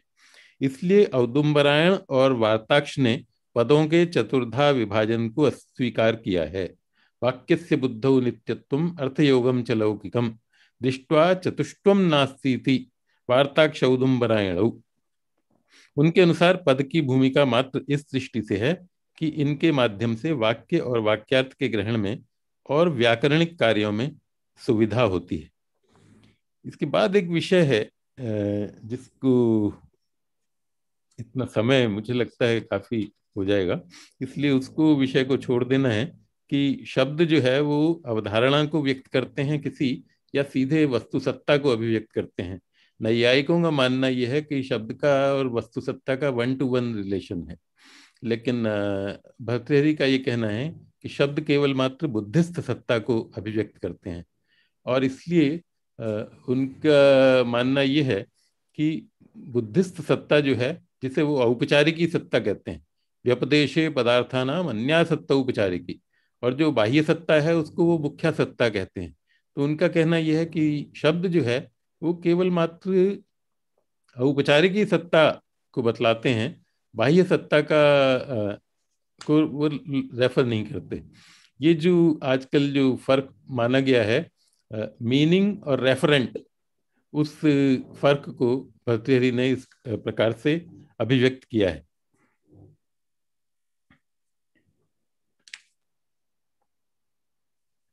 वाक्यपदीय के द्वितीय कांड की समापन कारिकाओं में कहा गया है कि भर्तृहरि ने आगम में प्रतिपादित न्याय मार्गों अर्थात सत्य तक पहुँचने के सिद्धांतों में निहित मार्गों का अभ्यास करके अपना दर्शन विकसित किया और तब इस आगम संग्रह की रचना हुई।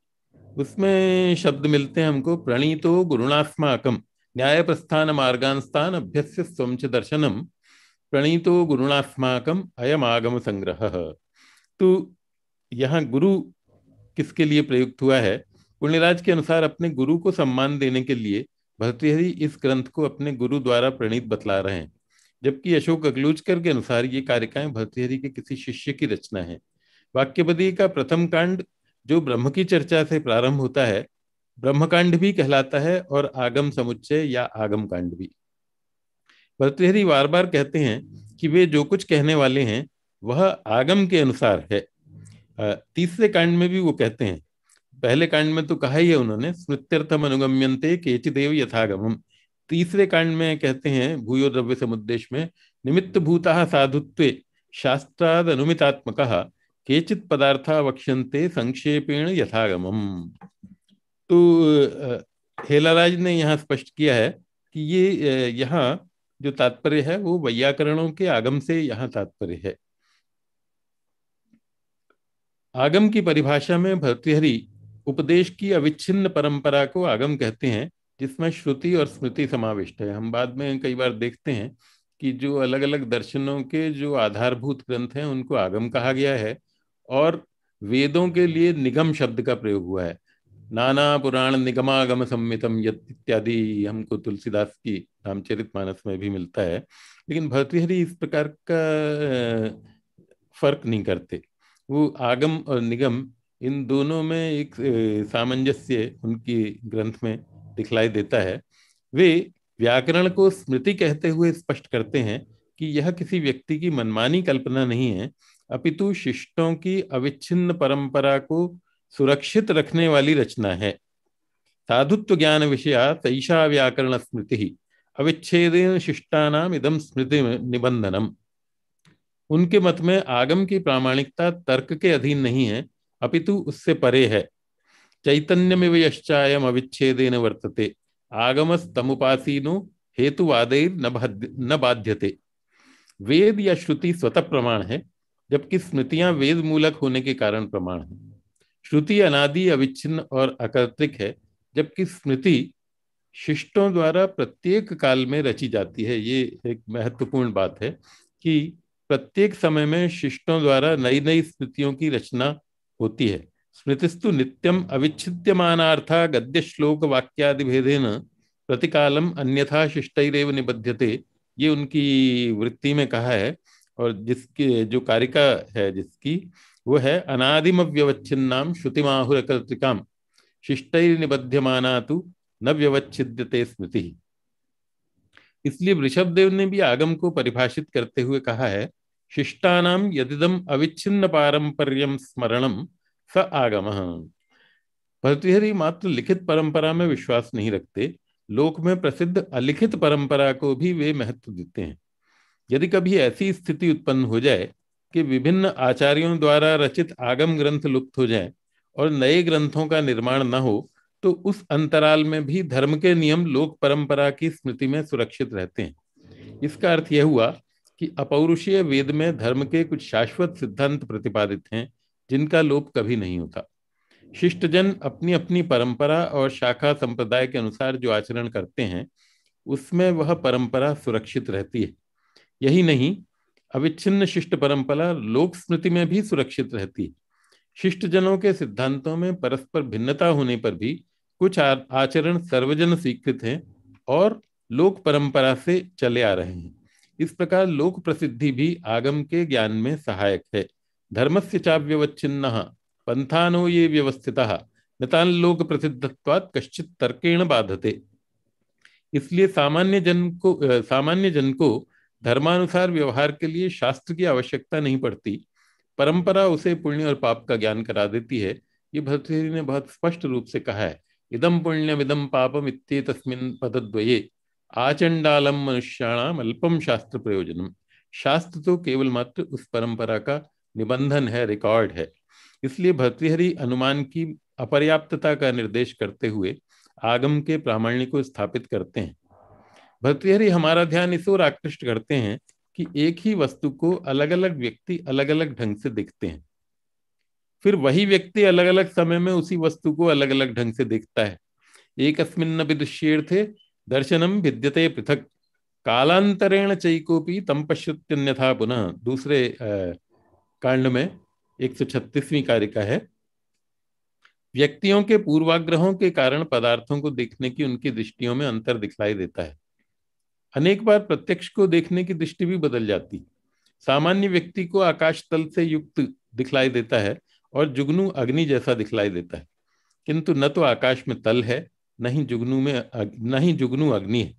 इसलिए प्रत्यक्ष पर भी विद्वान को युक्तिपूर्वक विचार करना चाहिए। ऐसा भर्तृहरि कहते हैं, तस्मात् प्रत्यक्षम अप्यर्थम विद्वान ईक्षेत युक्तितः, न दर्शन से प्रामाण्यात दृश्यमर्थम विकल्पयेत। लौकिक विषयों में यदि तत्व का ज्ञान संभव नहीं है तो युक्ति और लोक प्रतीति के आधार पर निर्णय करना चाहिए। लेकिन अदृष्ट विषयों में तर्क की गति नहीं है। इसलिए उनमें शिष्ट परंपरा के अनुसार ही व्यवहार किया जाता है। जो व्यक्ति धर्म का साक्षात दर्शन करने में असमर्थ है, उसे वेद के तात्पर्य के निर्णय में सहायता देने के कारण तर्क उसके नेत्र के समान है। विभिन्न श्रुति वाक्यों में संगति बैठाने के लिए हमें तर्क की आवश्यकता पड़ती है। इसलिए ब्रह्मसूत्र भाष्य में शंकर भी कहते हैं कि श्रुति के सहायक के रूप में तर्क हमें स्वीकार्य है। वे कहते हैं कि जगत के कारण को बतलाने वाले उपनिषद वाक्यों के अविरोधी अनुमान का हम निषेध नहीं करते। सत्सुतु ब्रह्मसूत्र शांकर भाष्य में उन्होंने कहा है, ब्रह्मसूत्र एक एक दो पर सत्सुतु वेदांत वाक्यु जगत जन्मादि कारणवादिषु तदर्थ ग्रहण दाढ़ अनुमानमपि वेदांत वाक्याविरोधी प्रमाणम भवन अनिवार्यते। श्रुत्यैव च सहायत्वेन तर्कस्य अभ्युपेतत्वात्। क्योंकि वह उन वाक्यों के अर्थ के विषय में हमारी समझ को दृढ़ करता है, इसलिए उसका निषेध शंकर भी नहीं करते तर्क द्वारा वाक्यार्थ का निश्चय किस प्रकार से किया जाता है, इस विषय में मीमांसा दर्शन में कुछ सिद्धांतों का प्रतिपादन किया गया पिछली बार जो पिछला व्याख्यान था, उसमें ये चर्चा की गई थी, उपक्रमोपसंहारो अभ्यासो पूर्वता फलम अर्थवादोपत्ति च लिंगम तात्पर्य निर्णय तो मीमांसा दर्शन में कुछ और भी सिद्धांत बतलाए गए हैं। श्रुतिलिंग, वाक्य प्रकरण, स्थान समाख्या इत्यादि ये भी बतलाए हैं। तर्क शब्द इसीलिए कहते हैं कि तर्क शब्द मीमांसा के पर्याय के रूप में भी प्रयुक्त होता है। भरतहरि ने एक जगह कहा है, वृत्ति में विधिर विधेय तर्कश्च वेद, और उस पर पद्धति टीका है वृषभ देव की। वो कहते हैं तर्क इति मीमांसा। तो तर्क शब्द जो है, उन्होंने मीमांसा के अर्थ में लिया है। विधि ब्राह्मण के अर्थ में और विधेय मंत्र के अर्थ में। भर्तृहरि ने इस संबंध में कुछ उदाहरण दिए हैं। अनेक अवसरों पर शब्द द्वारा व्यक्त अर्थ की उपस्थिति होते हुए भी उस अर्थ की आवश्यकता नहीं होती। पाणिनि सूत्र कर्तुरीप्सित तमम कर्म के अनुसार कर्ता के ईप्सित तम की कर्म संज्ञा होती है। यहाँ कर्तुह के एक वचन होने पर भी एकत्व की विवक्षा नहीं है। इसलिए कर्तुह ईप्सित तम एक कर्ता हो या अनेक कर्ता हो, उन सभी के ईप्सित तम की कर्म संज्ञा हो जाती है। इसी प्रकार ईप्सित में नपुंसक लिंग की विवक्षा नहीं है और इसलिए पुल्लिंग और स्त्रीलिंग वाले शब्दों की भी कर्म संज्ञा हो जाती है। जैसे घटम करोती या घटीम करोती। यदि ये दोनों बीमार पड़े तो इन्हें अमुक औषधि दे देना। इस वाक्य में ये दोनों में द्विवचन की विवक्षा नहीं है। द्विवचन अविवक्षित है। उसका कोई विशेष सिग्निफिकेंस नहीं है। इसलिए दोनों में से किसी एक के बीमार होने पर भी वही औषधि दी जानी है। मीमांसा का प्रसिद्ध वाक्य है ग्रहम सम्माष्टि। ग्रह कहते हैं जो सोम पात्र है। सोमयाग में सोम पात्रों का जो प्रयोग किया जाता है, उसके लिए ग्रह का प्रयोग किया है। तो ग्रह का सम्मार्जन करता है, उनको साफ़ करता है। ये एक विधि है। यहाँ द्वितीय एक वचन का प्रयोग है, लेकिन प्रस्तुत प्रसंग में एक वचन का कोई विशेष अर्थ नहीं है। जितने भी ग्रह यज्ञ में प्रयुक्त होते हैं, उन सभी के सम्मार्जन का विधान इस वाक्य द्वारा किया गया है। ग्रहों का विधान पहले ही ग्रह जुहोती द्वारा हो चुका है, इसलिए ग्रहम सम्माष्टि में एकत्व उद्दिष्ट नहीं है। ग्रह मात्र उद्देश्य है और सम्मार्जन विधेय है। कभी कभी कोई शब्द उपलक्षण बन जाता है। जब हम कहते हैं, काकेभ्यो रक्षताम सर्पी कौओं से दही को बचाना। तो इस वाक्य का अर्थ ये नहीं है कि उसे कुत्ते इत्यादि प्राणियों से नहीं बचाना है। यहाँ कौआ उन सभी प्राणियों का उपलक्षण है जो दही को हानि पहुँचा सकते हैं। कभी कभी किसी लिंग के आधार पर, किसी संकेत के आधार पर भी वाक्यार्थ का निश्चय किया जाता है। यज्ञ में किसी स्नेह द्रव्य से मिश्रित शर्करा को रखने का विधान किया गया है। अक्ता शर्करा उपदधाती। मिश्रण के लिए स्नेहन पदार्थों में तेल भी हो सकता है और घी भी। इस वाक्य के समीप तेजो वही घृतम, ये वाक्य पढ़ा गया है, जिससे घी की प्रशंसा का बोध होता है। इस सामर्थ्य से यह अर्थ फलित होता है कि शर्करा को घी से मिश्रित करना है, तेल से नहीं। इस प्रकार भिन्न भिन्न प्रसंगों में तार्किक आधार पर वाक्यार्थ का निर्णय किया जाता है। यदि यह तर्क वेद विरुद्ध न हो तो इसे वैदिक वाक्यों के सहकारी के रूप में ग्रहण किया जाता है। इसलिए भर्तृहरि स्पष्ट करते हैं कि तर्क वहीं तक स्वीकार्य है, जहाँ तक वह अपने शास्त्र का बाधक नहीं है। जो तर्क आगम का विरोधी नहीं है, वह शास्त्र के अर्थ का निर्णय करने में हमारा सहायक है। वेद शास्त्र विरोधी च तर्कश्चक्षुर पश्यताम रूप मात्राधिवाक्यार्थ केवलान नावतिष्ठते। जिस परंपरा का हम अनुसरण कर रहे हैं, उसी के मूल का उच्छेद करने वाला तर्क स्वीकार्य नहीं हो सकता। आगम रहित तर्क से चलने वाला व्यक्ति भर्तृहरि के मत में प्रत्यवाय से युक्त होता है, क्योंकि ऐसा तर्क आगम का विरोधी होने के कारण केवल शुष्क तर्क है। और इस शुष्क तर्क की चर्चा आचार्य शंकर ने अपने शांकर भाष्य में उन्होंने भी की है। तो वो कहते हैं शब्द शक्ति रूपा परिगृहित सर्वागमोपघात हेतुत्वाद अनिबंधन शुष्क तर्क इत्युच्यते। इसलिए भर्तृहरि कहते हैं कि भिन्न भिन्न परंपराओं के ज्ञान से बुद्धि विवेक को प्राप्त करती है। किंतु प्राचीन आगमों के ज्ञान के बिना केवल मात्र मनमानी कल्पनाएँ करने वाले लोग विद्या को प्राप्त नहीं कर सकते। प्रज्ञा विवेकम लभते भिन्न रागम दर्शन ही कियद्वा शक्य मुन्ने तुम स्वतर्कम अनुधावता तत्तदुत्प्रेक्षमाणानां पुराणैरागमैर्विना अनुपासित वृद्धानां विद्यानाति प्रसिद्धति धन्यवाद।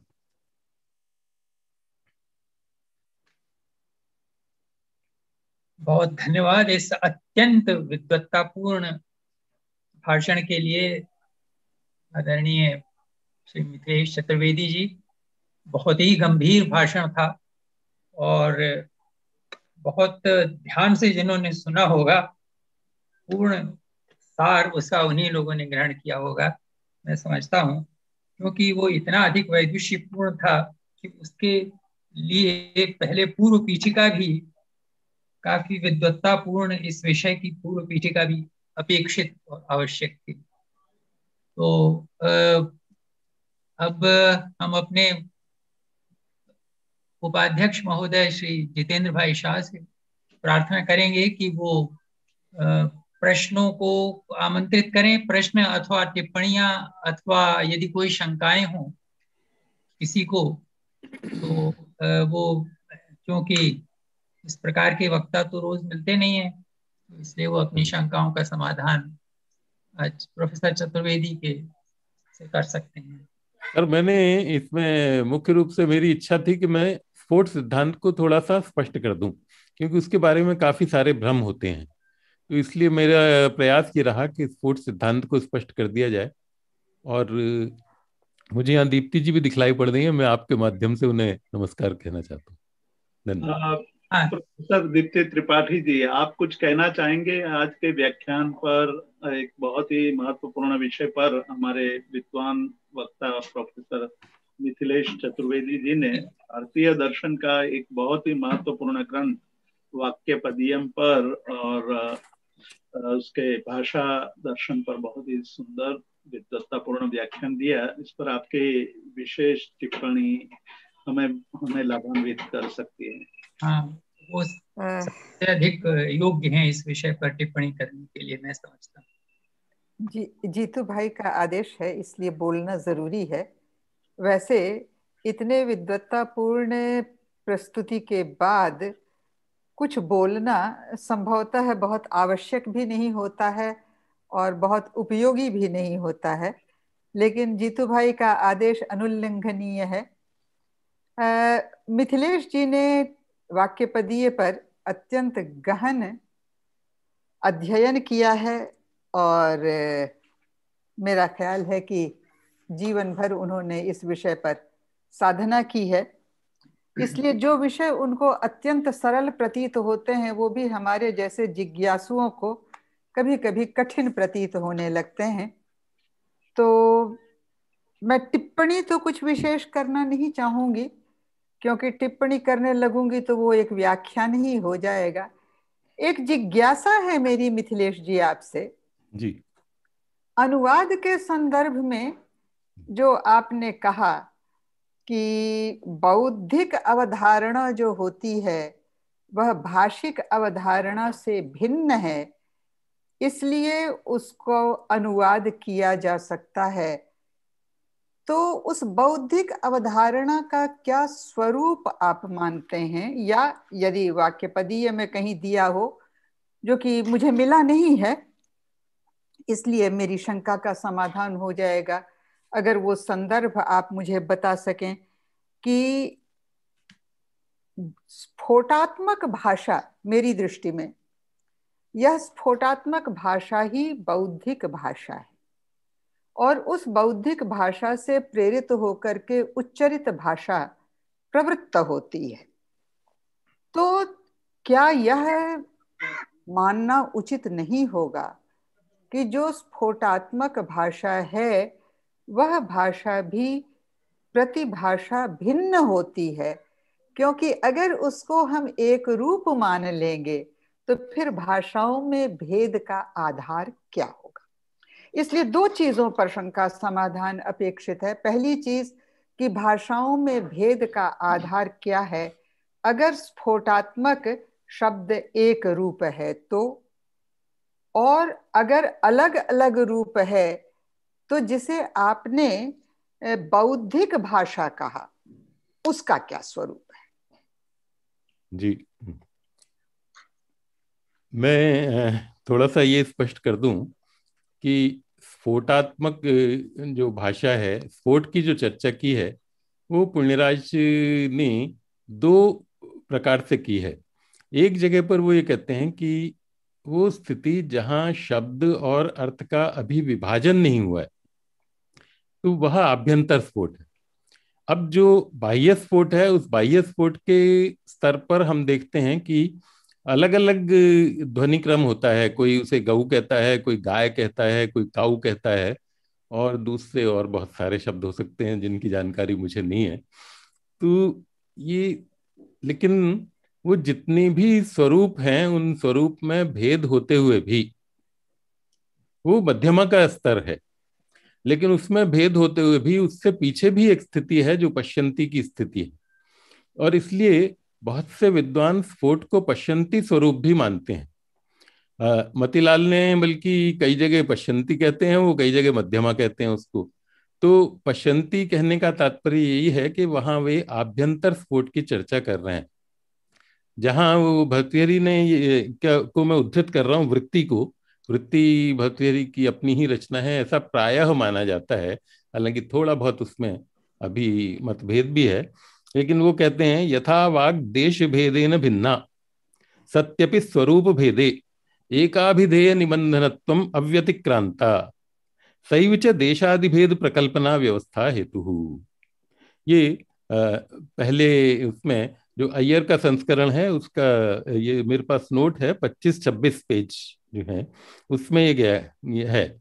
और उस पर पद्धति कहती है वाग भिद्यमाना देशादि व्यवस्था कल्पयती। यथा एते दाक्षिणात्य एते गौड़ा इति। तो इसलिए जो मूल जो है, वो कहाँ से आता है? जो शब्द जो है वो निकल कर जहाँ से आता है, वह जो स्थिति है, वह आभ्यंतर स्फोट की स्थिति है, ऐसा मैं समझता हूँ। और ये आभ्यंतर स्फोट की जो स्थिति है, इसमें सारी भाषाएँ एक हैं। इसलिए वो एकाभिधेय निबंधनत्व अव्यतिक्रांता भक्ति उसको कहते हैं। मुझे लगता है कि मैंने कोशिश की है आपकी शंका का समाधान करने इसमें बहुत वैमत्य का अवकाश नहीं है क्योंकि आपने उदाहरण दिया है उनका हम्म। लेकिन मेरा स्वयं का ये मानना है कि स्फोट जो है क्योंकि स्फोट स्फोट शब्द की जो व्युत्पत्ति बताई गई है वो स्फुटति अर्थ अस्मात् और स्फुटति अर्थ अस्मात् तो इसका मतलब यह है कि स्फोट और अर्थ में थोड़ा सा भेद है। और भेद अगर नहीं होता तो स्फुटति अर्थ अस्मात्, ये व्युत्पत्ति उसकी नहीं बताई जाती। अब उनमें कैसे एक तारता बैठाई जाए, कैसे दोनों में परस्पर संबंध बैठाया जाए, ये एक विचारणीय विषय होगा। और मेरा ख्याल है कि आगे चल करके हम लोग जब चर्चा करेंगे तो इस विचारणीय विषय पर वादे वादे जायते तत्वबोध के नियम के अनुसार कुछ न कुछ तत्वबोध होगा ज़रूर क्योंकि बुद्धिस्ट शब्द जो है जैसा आपने स्वयं कहा कि मध्यमा भी है और उसके पश्यंती भी है जी। तो बुद्धिस्ट शब्द और उच्चरित शब्द इसमें तो अंतर सबने माना है और उसको मानना आवश्यक भी है, बिना उसको माने काम चलता नहीं है। लेकिन बुद्धिस्ट शब्द का स्वरूप क्या है? और उस स्वरूप को लेकर के किस प्रकार से व्याख्या की जाए? उस स्वरूप का स्पष्टीकरण किस प्रकार से हो?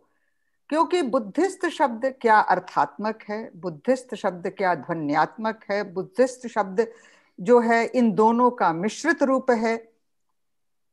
इन सब पर थोड़ी सी चर्चा अपेक्षित होगी। अगर अर्थात्मक है, तब तो हम कह सकते हैं कि सभी भाषाओं में एक रूप है। लेकिन अगर उसका ध्वनि से कुछ भी संबंध है तो मुझे ऐसा लगता है, ये मेरी वेरी पोलाइट सबमिशन जिसे अंग्रेज़ी में कहते हैं, कि उन दोनों को हम एक शायद न कह सकें, क्योंकि ध्वनि तो प्रतिभाषा भिन्न है। और अगर प्रतिभाषा भिन्न है तो फिर अनुवाद जो होता है, वो शब्दों का होता है। अनुवाद जो होता है, वो भावों का होता है। क्योंकि मैं बहुत अनुवाद की पक्षधर नहीं हूँ। ये मैं पहले ही स्पष्ट कर दूँ। मेरा ये मानना है कि भाषा का अनुवाद नहीं किया जा सकता है। हम जो करते हैं, वो केवल शब्दांतर करते हैं और बहुत बार शब्दांतर करने में अर्थ का अनर्थ कर डालते हैं। क्योंकि भाषा के पीछे जितने प्रेरक तत्व होते हैं, वो प्रत्येक भाषा में भिन्न होते हैं। वो एक अलग विषय है, उनकी चर्चा करने लगूँगी तो बहुत विस्तार हो जाएगा। इसलिए अनुवाद जो है, वह वस्तुतः केवल शब्दांतर मात्र नहीं है। तो क्या यह मानना उचित होगा कि मध्यमा के स्तर पर या पश्यंती के स्तर पर सभी भाषाएँ एक ही हैं? अगर सभी भाषाएँ एक हैं तो प्रत्येक भाषा में भेद कैसे होता? है मैं ये सब विचार के बिंदु जो प्रश्न मेरे मन में तरंगों की तरह तरंगायित तो हो रहे हैं, आपके सामने रखती जा रही हूँ। मैं इनके जवाब की ना अपेक्षा कर रही हूँ, ना आपसे अभी अनुरोध करूँगी। लेकिन ये तरंगे उठ रही हैं और मैंने सोचा कि आपके जैसे विद्वान के आगे रख देने पर संभव है इन तरंगों में कभी शांति का अनुभव हो सके। लेकिन आपकी इस प्रस्तुति पर आपको बहुत बहुत बधाई और बहुत बहुत अभिनंदन। आपने इतने कम में गागर में सागर भर दिया है कि जैसा त्रिपाठी जी ने कहा कि जो यहाँ विचक्षण नहीं है, वो कुछ विचक्षणता के करीब ज़रूर पहुँच सके होंगे। इसलिए पुनः पुनः अभिनंदन। धन्यवाद। जी आपकी बधाई के लिए बहुत बहुत धन्यवाद thank you very much professor Deepti Tripathi ji हमारे साथ हमारे uh, संस्थान के पूर्व निदेशक प्रोफेसर जयपाल विद्यालंकार जी जुड़े हुए हैं। उनके कोई विशेष टिप्पण हो तो हम सुनना चाहेंगे। प्रोफेसर जयपाल विद्यालंकार जी अपना माइक म्यूट अनम्यूट करके आप कुछ कहना चाहते हैं तो कहिए। जीतू भाई, मुझे तो ये सारा जो भर्तृहरि का है, उसका मैंने कभी अध्ययन नहीं किया। मैं उसे बिल्कुल वो रहा हूँ। बाकी जो सामान्य रूप से बात हो रही है, वो मैं बातों को जरा दार्शनिक परिभाषाओं की अपेक्षा जो एक व्यवहार में चीज़ आती है, उसके हिसाब से ज़्यादा समझता हूँ। मैं सोचता हूँ कि हर जो पदार्थ है पद, पदार्थ का मतलब ये है कि पद का मतलब है ध्वनि या शब्द।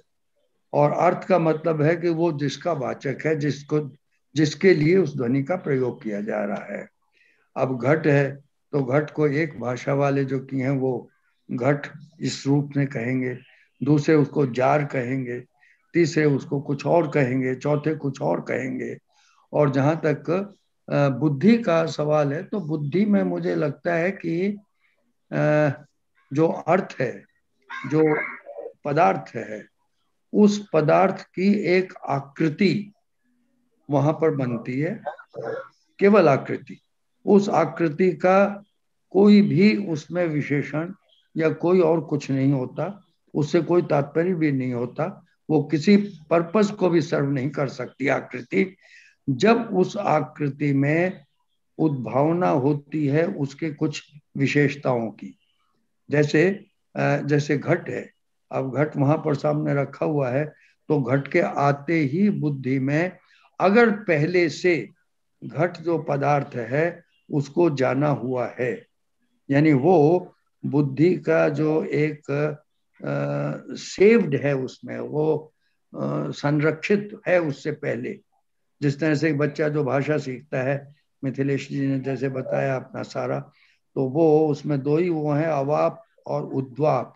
जब वो वाक्य बोलते हैं, सुनते हैं तो एक अंश को छोड़ता है, एक अंश को ग्रहण करता है और ग्रहण करते धीरे धीरे भाषा करता जाता है समझता जाता है। वो भाषा दिमाग में उसके आकर एक संरक्षित होती रहती है।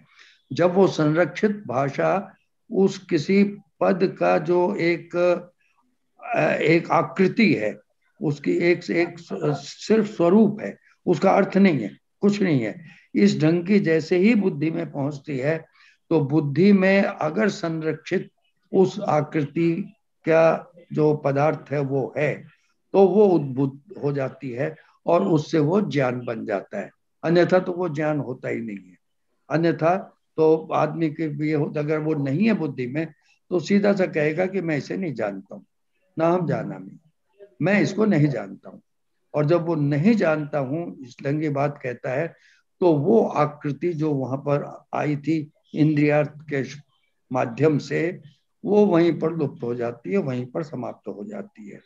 बाकी ज्ञान तो वही है जो सर्व व्यवहार हेतु ज्ञानम, यानी हमारा जितना भर भी व्यवहार है, उसका आधार तो ज्ञान ही है।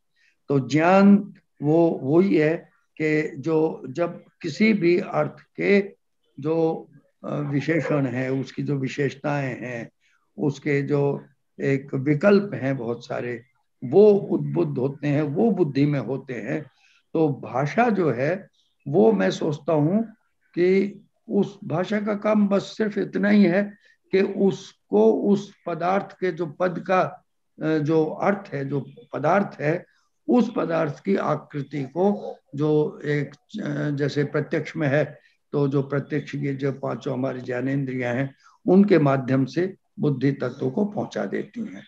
ये मतलब मुझे व्यवहारिक दृष्टि से लगता है सारा उसमें बाकी आ, मेरे मतलब भर्तृहरि को मैंने कभी नहीं पढ़ा है और मुझे उसका ज्ञान नहीं है। बहुत बहुत धन्यवाद प्रोफेसर विद्यालंकार जी आपने जो टिप्पण किया उसके लिए। अभी हमारे बीच में बलराम शुक्ला जी हैं, उन्होंने हैंड रेज किया था या मतलब अपना माइक वीडियो अनम्यूट किया था तो मैं आमंत्रित करता हूँ, आपको कुछ पूछना हो तो।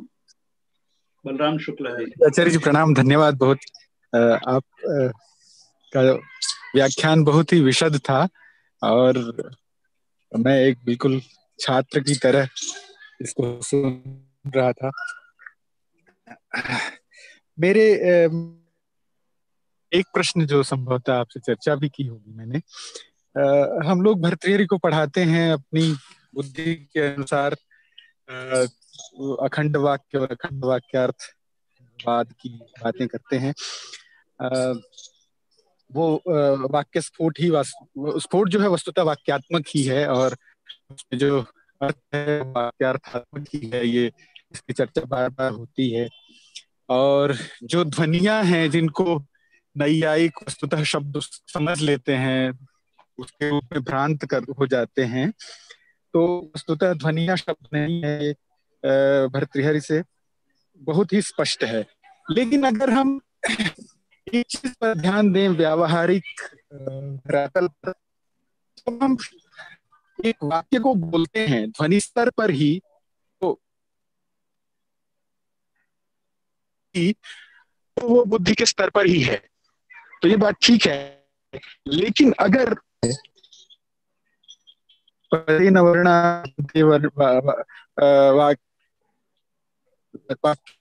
तो अगर तुतः नहीं है तो एक वाक्य को बोलते हैं।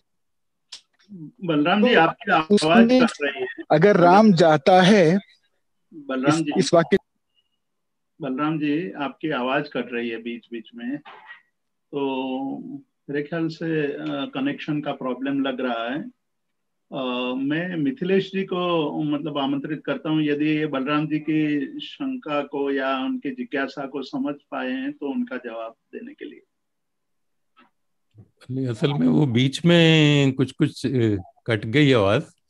और इसलिए उनका जो मंतव्य है, वो तो सुनाई पड़ गया, लेकिन मंतव्य तो वही है जो मेरे से मेरे से मेल खाता है। क्योंकि मेरा यही कहना है कि भाई नैयायिक लोग जो हैं, उनका ये कहना है कि ध्वनिया सार्थक हैं, जबकि ध्वनिया सार्थक नहीं हो सकती। हम हम हम जो भाषा का प्रयोग करते हैं, वो वाक्य के माध्यम से करते हैं, वाक्य के रूप में करते हैं। और इसलिए वाक्य ही हम लोग आपस बोलते हैं सर ये ये कुछ गड़बड़ गड़बड़ी हो गई थी मैंने हाँ। उसका उसकी भूमिका तो रखी प्रश्न नहीं पूछ पाया हाँ, मैं ये हाँ, कह रहा था कि अगर हम अगर वैयाकरणों की बात बिल्कुल सही हो तो जब हम रियल लिंग्विस्टिक एनवायरनमेंट में किसी एक ध्वनि के स्ट्रिंग का उच्चारण करते हैं जिसको हम अभी वाक्य नहीं कह रहे हैं वैयाकरण उसको वाक्य नहीं मानेंगे हम्म।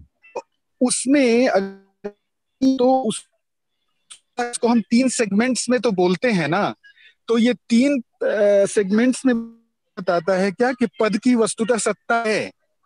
अगर पद अगर आ, राम जाता है या कुछ इस तरह से बोलते हैं जिसमें एक छोटा सा जो पॉज है वो पॉज भी नहीं होना चाहिए था। अगर पॉज है तो इसका मतलब है कि वो तीन खंड हैं वहाँ और उसमें इस चीज़ को कैसे समझाया जाए? यद्यपि व्याकरण का छात्र होने के नाते भर्तृहरि जो है वो अधिक कन्विंसिंग लगते हैं। और जैसा कि हमारे गुरुओं ने बताया है तो लेकिन इस प्रश्न को अगर कोई नैयायिक या ध्वनि शब्दवादी अगर प्रस्तुत करता है तो हम क्या उत्तर दे सकते हैं? क्योंकि ये बहुत इंपॉर्टेंट ये बिल्कुल व्यवहार की बात है कि तीन सेगमेंट्स में हम उसका उच्चारण करते हैं। ये तो ठीक है। आप ठीक कह रहे हैं कि वो शब्दों में उसका विभाजन करके तब हम उसको समझते हैं। तो ये केवल मात्र एक वाक्य को, अर्थ को समझने की सुविधा के लिए उपाय है, ऐसा कहते हैं। सर, लेकिन सुनने से पहले वक्ता बोल रहा है वक्ता के बोलने के अंतर्गत ये फिजियोलॉजिकल क्रिया हो रही है कि वो तीन खंडों में बुद्धि के स्तर पर समझने के बाद हम उसमें अलग अलग करते हैं। ये तो बात सही है वो तो वाक्यार्थ के लेवल की बात है। लेकिन उन ध्वनियों के निष्पादन प्रक्रिया के अंतर्गत जो सेगमेंट्स आते हैं उसकी हम किस तरह से नहीं लेकिन हम, करेंगे? हम देखो हम हम खंड पॉजेस जो आ रहे हैं। जी। डॉक्टर बलराम जो हम बोलते हैं तो कई बार ऐसा भी होता है कि आप आपने किसी वाक्य को बोला अधूरा या अभी जैसे हो रहा है कि आपकी बात को मैं कब कहीं समझ पा रहा हूँ कहीं नहीं सुन पा रहा हूँ लेकिन फिर भी आपका आशय काफ़ी हद तक समझ में आ जाता है। तो इसलिए वाक्य तो मेरे मानस में विद्यमान है ही। इसलिए उस वाक्य के माध्यम से हम उसको समझने की कोशिश करते हैं। बाकी ये तो ठीक है कि अलग अलग हाँ। पदों के माध्यम से अब बहुत बार ऐसा भी होता है कि हम कोई एक पद को नहीं समझ पाते हैं तो और उसका अर्थ डिक्शनरी में देखते हैं। डिक्शनरी में उसके अर्थ को देखकर फिर उसमें से दो तीन चार तरह के अर्थ देखते हैं। उन दो तीन चार चार तरह के अर्थों में हाँ। हमारे यहाँ वाक्य में क्या फिट बैठता है उसके हिसाब से हम वाक्य के अर्थ को समझने की कोशिश करते हैं। ये तो ठीक है अब आप लेकिन कर लेते हाँ। लेकिन फिर भी उसका हाँ ये तो है लेकिन फिर भी वो तो एक समझने की सुविधा के लिए है ना ऐसा नहीं है कि वो हमको एक पद नहीं समझ में आया। वाक्यवादी ये कहेगा कि हाँ, वो पूरा वाक्य ही हाँ। समझ में नहीं आया। तो इसलिए जो अलग अलग सेगमेंट्स में हम उसको सुनते हैं वो भी उसको समझने का एक उपाय है। अच्छा सुनते ही नहीं है बोलते भी तो हैं। प्रॉब्लम ये है। हाँ हाँ बोलते हैं। तो, तो हम बोलते, बोलते क्यों है? अगर हम अगर वाक्य जो है वो हमारे बुद्धिस्ट स्फोट से निष्पन्न हो रहा है प्रकाशांतर कारणम जैसे कहा है उन्होंने तो आ, उसको आ, उसको हम समझ रहे होते कि हम एक ही एक एंटिटी में बोल रहे हैं तो एंटिटी में बोलना चाहिए था किसी तरह के सेगमेंट सेगमेंटेशन जो है वो नहीं होना चाहिए था। भाई देखो हम बोलते हैं तो बोलते हुए उसको लगातार बोलते हैं ना वाक्य को। चाहे किस सेगमेंट्स में भी बोलते हो लेकिन उसको अपना जो अर्थ है हम्म। उस अर्थ को स्पष्ट करने का एक तरीका होता है आदमी हाँ। बोलता है तो कई बार खुद भी सोच सोच कर बोलता है अब हाँ। बोलता है तो उसको बोलना तो चाहता है उसके मन के पीछे कुछ ना कुछ है ऐसा वाक्य मन का मतलब है कि कॉग्निटिव लेवल पे हम पद की सत्ता मान रहे हैं कॉग्निटिव लेवल पर कॉग्निटिव लेवल पर वो वाक्य ही है उस वाक्य को हम अधूरा बोल पाए हैं अभी। अभी उसका जो स्वरूप है वो पूरी हाँ। तरह से स्पष्ट नहीं हुआ है। हाँ वो संभवतः उपाय है वो और वाक्य उपेय है। अब वो जो है पूरी तरह से जब उसका स्वरूप हमारे सामने स्पष्ट हो जाता है तब हम हाँ। उसको बोल भी पाते हैं और सुन भी पाते हैं। धन्यवाद। धन्यवाद मिथिलेश मिथिलेश जी धन्यवाद। अब हमारे साथ Galaxy A ninety five G बहन जी आप जो प्रश्न पूछना चाहते हैं एंड रेज किया है तो आप प्रश्न पूछिए अपना माइक अनम्यूट करके। Um, thank you. Um, Jai Jinendra, it's more a comment rather than a question अभी जब से जीतू भाई ने वो तत्वार सूत्र शुरू किया है तो मैं आपके बी एल इंस्टीट्यूट के साथ जो भी प्रोग्राम होता है, जुड़ जाती हूँ। सो professor Mithila ji it was really amazing to understand the word and the sentence and the breaking of it but आप में इतने सारे ऑडियंस में बहुत सारे प्रोफेसर हैं, बहुत सारे पीएचडी डॉक्टर हैं। I am just absolutely nothing and my Hindi is just zero. So my Pali and Sanskrit is even minus zero. But थोड़ा सा कुछ सुन लिया आप में से आपने ऋषभ जी की बहुत बात की तो मैं क्लैरिफाई करना चाहती थी कि वो हमारा ऋषभ देव जो भगवान है वो ही उसी टाइम से ये आपने रेफरेंस किया था सो so, ऐसा थोड़ा कुछ सुन के जान के सभी के साथ शेयर करके मुझे भी अच्छा लगता है so thank you once again to B L institute and Tiwari ji Jeetu bhai ji आपके आईटी और professor and I look forward to next week. I'm from London. Jitu knows me now. Thank you. Thanks for your compliment. Rishabh Dev के बारे में आप ऋषभ टीकाकार ऋषभ और ऋषभ देव के बारे में आप थोड़ा प्रकाश डालिएगा नहीं ऋषभ देव जो है उनके बारे में बहुत ज़्यादा जानकारी ऐतिहासिक रूप से है नहीं लेकिन ऐसा माना जाता है कि वो भरतहरी के बाद के हैं जबकि आप जिन ऋषभ देव की बात कर रही हैं वो ऋषभ देव तो आ, मुझे लगता है कि भगवान महावीर से भी पहले के शायद है ना? बहुत पहले। प्रथम तीर्थंकर हैं शायद। तो वो वो तो बहुत पुराना मतलब प्रागैतिहासिक कह सकते हैं उसे प्री हिस्टोरिकल वो हैं। ऋषभ देव जो है वो भरतहरी की का समय जैसा कहा त्रिपाठी जी ने कि उनको फोर्थ सेंचुरी के आसपास फोर्थ, फिफ्थ सेंचुरी माना जाता है। और, कुछ लोग ऐसे भी हैं, प्रोफेसर साधुराम ने एक लेख लिखा था तो उनका ये कहना था कि भरतहरी और उससे काफ़ी पहले के हो सकते हैं, कम से कम तीन चार शताब्दी पहले के भी हो सकते हैं, लेकिन उसके बाद भी भरतहरी ऋषभदेव से काफ़ी बाद के होते हैं। और वृषभ देव जो हमारे यहाँ हैं, वो, उनके भरतहरी के टीकाकार हैं। इसलिए और उन्होंने उन, उनमें भी ये मिलता है कि बहुत सारी टीकाएँ भर्तृहरि की वृत्ति पर और उनके वाक्यपदीय पर वृषभ देव के समय तक लिखी जा चुकी थी। इसका अर्थ है कि वृषभ देव भर्तृहरि के भी कम से कम तीन, दो तीन शताब्दी के बाद हुए होंगे। लेकिन उनका एग्जैक्ट टाइम तो नहीं मालूम है, लेकिन उन ऋषभ देव से इनका कोई संबंध नहीं। क्योंकि वो भगवान ऋषभदेव ने इतनी सारी कलाएँ सिखाई थी ना 72 पुरुषों को और 64 स्त्रियों को तो मैंने सोचा ये लैंग्वेज भी शायद वही परंपरा से शायद आ रही होगी। So thank you for the clarification thank you Smita बहन आप यूके लेस्टर से बोल रहे हैं काफ़ी आपकी जिज्ञासा के हम अनुमोदना करते हैं। अब किसी और को अपनी जिज्ञासा या प्रश्न या शंका हो तो पंकज मिश्रा जी। पंकज मिश्रा जी माइक अनम्यूट करके प्रश्न। जी सबको मेरा प्रणाम। और जब से घोषणा हुई थी, तब से सर के इस व्याख्यान को सुनने की प्रतीक्षा थी। और आज सर को बहुत दिनों के बाद सुनने का मौका मिला। लोग चक्षु यज्ञ, चाक्षुष यज्ञ की चर्चा करते हैं। मैं सदैव इसे श्रोत्र यज्ञ कहता हूँ। सर को हमने सुना, कानों के लिए यज्ञ। मेरा प्रश्न है, एक पूर्व पक्ष की तरह है, कुछ हो सकता है कि बेट भी इस पे क्रिएट हो। मैं मानता हूँ शब्द अनित्य है, क्योंकि हमने अपने मुँह से निकलने वाली ध्वनि को स्वयं कूटानुबद्ध किया है। शब्द का निर्माण केवल मनुष्य करता है और अर्थ भी वही तय करता है। अगर ऐसा नहीं होता तो वेद के अर्थ, कई वेद के शब्द के अर्थ नहीं बदलते और मेरे पंकज का नाम कमल नहीं होता। तो इस स्थिति में इस शब्द को ब्रह्म या नित्य कहे जाने का औचित्य क्या है? यदि यह नित्य होता तो सारे विश्व के लिए एक ही शब्द प्रयोग में आता। एक तो यह प्रश्न है, एक जिज्ञासा है मेरी। और दूसरा है तर्क को लेकर के। जो यह कहते हैं कि आगम के विरोध तर्क जो है, वह तर्क नहीं वो स्वयं आगम के ही के विरोध में कई प्रकार के तर्क कर जाते हैं। जैसे अगर हम भर्तृहरि को ही यह माने कि इन्होंने नीति शतकम आदि की रचना की अगर दो, दोनों भर्तृहरि को एक माने तो इसमें कई सारी ऐसी बातें कही गई है जो आगम विरोधी है। सर आपकी टिप्पणी। समय देने के लिए धन्यवाद। जी जी। पंकज जी आपका पहला प्रश्न था कि अनित्य अनित्य। हाँ।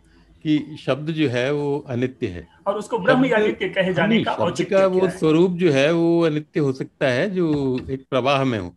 भर्तृहरि का ये मानना है कि ये उन्होंने कहा है ये प्राणिनाम एवं साचैषा व्यवस्था नित्य नित्यतोच्यते।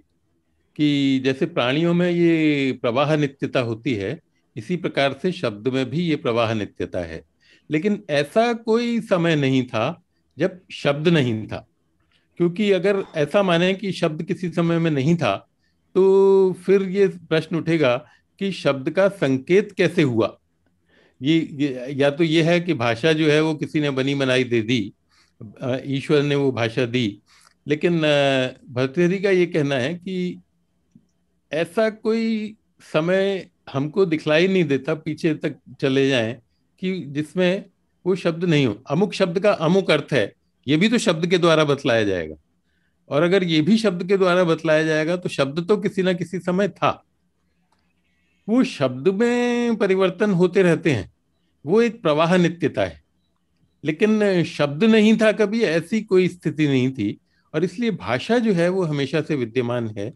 ऐसा शब्द शब्दार्थ संबंध की नित्यता से उनका तात्पर्य यही है। और, और दूसरा तर्क को लेकर। हाँ तर्क को लेकर आपका कहना भर्तृहरि का ये कहना है कि, और ये ये तमाम जो भी शास्त्र की रचना जो भी व्यक्ति करेगा, वो ये कहेगा कि आप अपनी परंपरा का उच्छेद क्यों कर रहे हैं?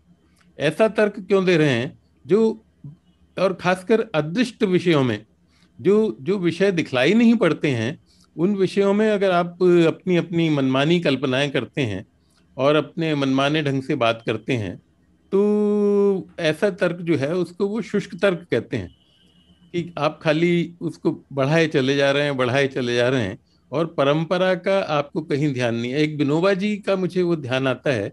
विनोबा जी ने अपने गीता प्रवचन में एक जगह ये कहा है कि मैं अपने पूर्वजों का आभारी इसलिए हूँ और पूर्वजों से ज़्यादा देख पा रहा हूँ। मांसाहार के ऊपर वो कहते हैं ये बात। कि भाई वो लोग मांसाहार करते थे, अब अब वो मांसाहार थोड़ा सा बहुत बड़ी एक संख्या है जो उसको वर्जित मानती है। तो उनका कहना यह है कि जो पूर्वज हमारे थे, उन पूर्वजों के कंधे पर मैं चढ़ा हुआ बच्चा हूँ। और इसलिए मैं और ज़्यादा दूर तक देख पा रहा हूँ। इसलिए उसका तर्क जो है वो मुझको दिखलाई पड़ रहा है।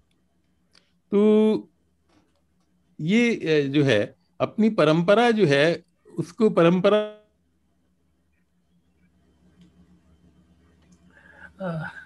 वॉइस ब्रेक हो रहा है मिथिलेश जी आपकी आवाज़ रुक गई है अभी। मिथिलेश जी।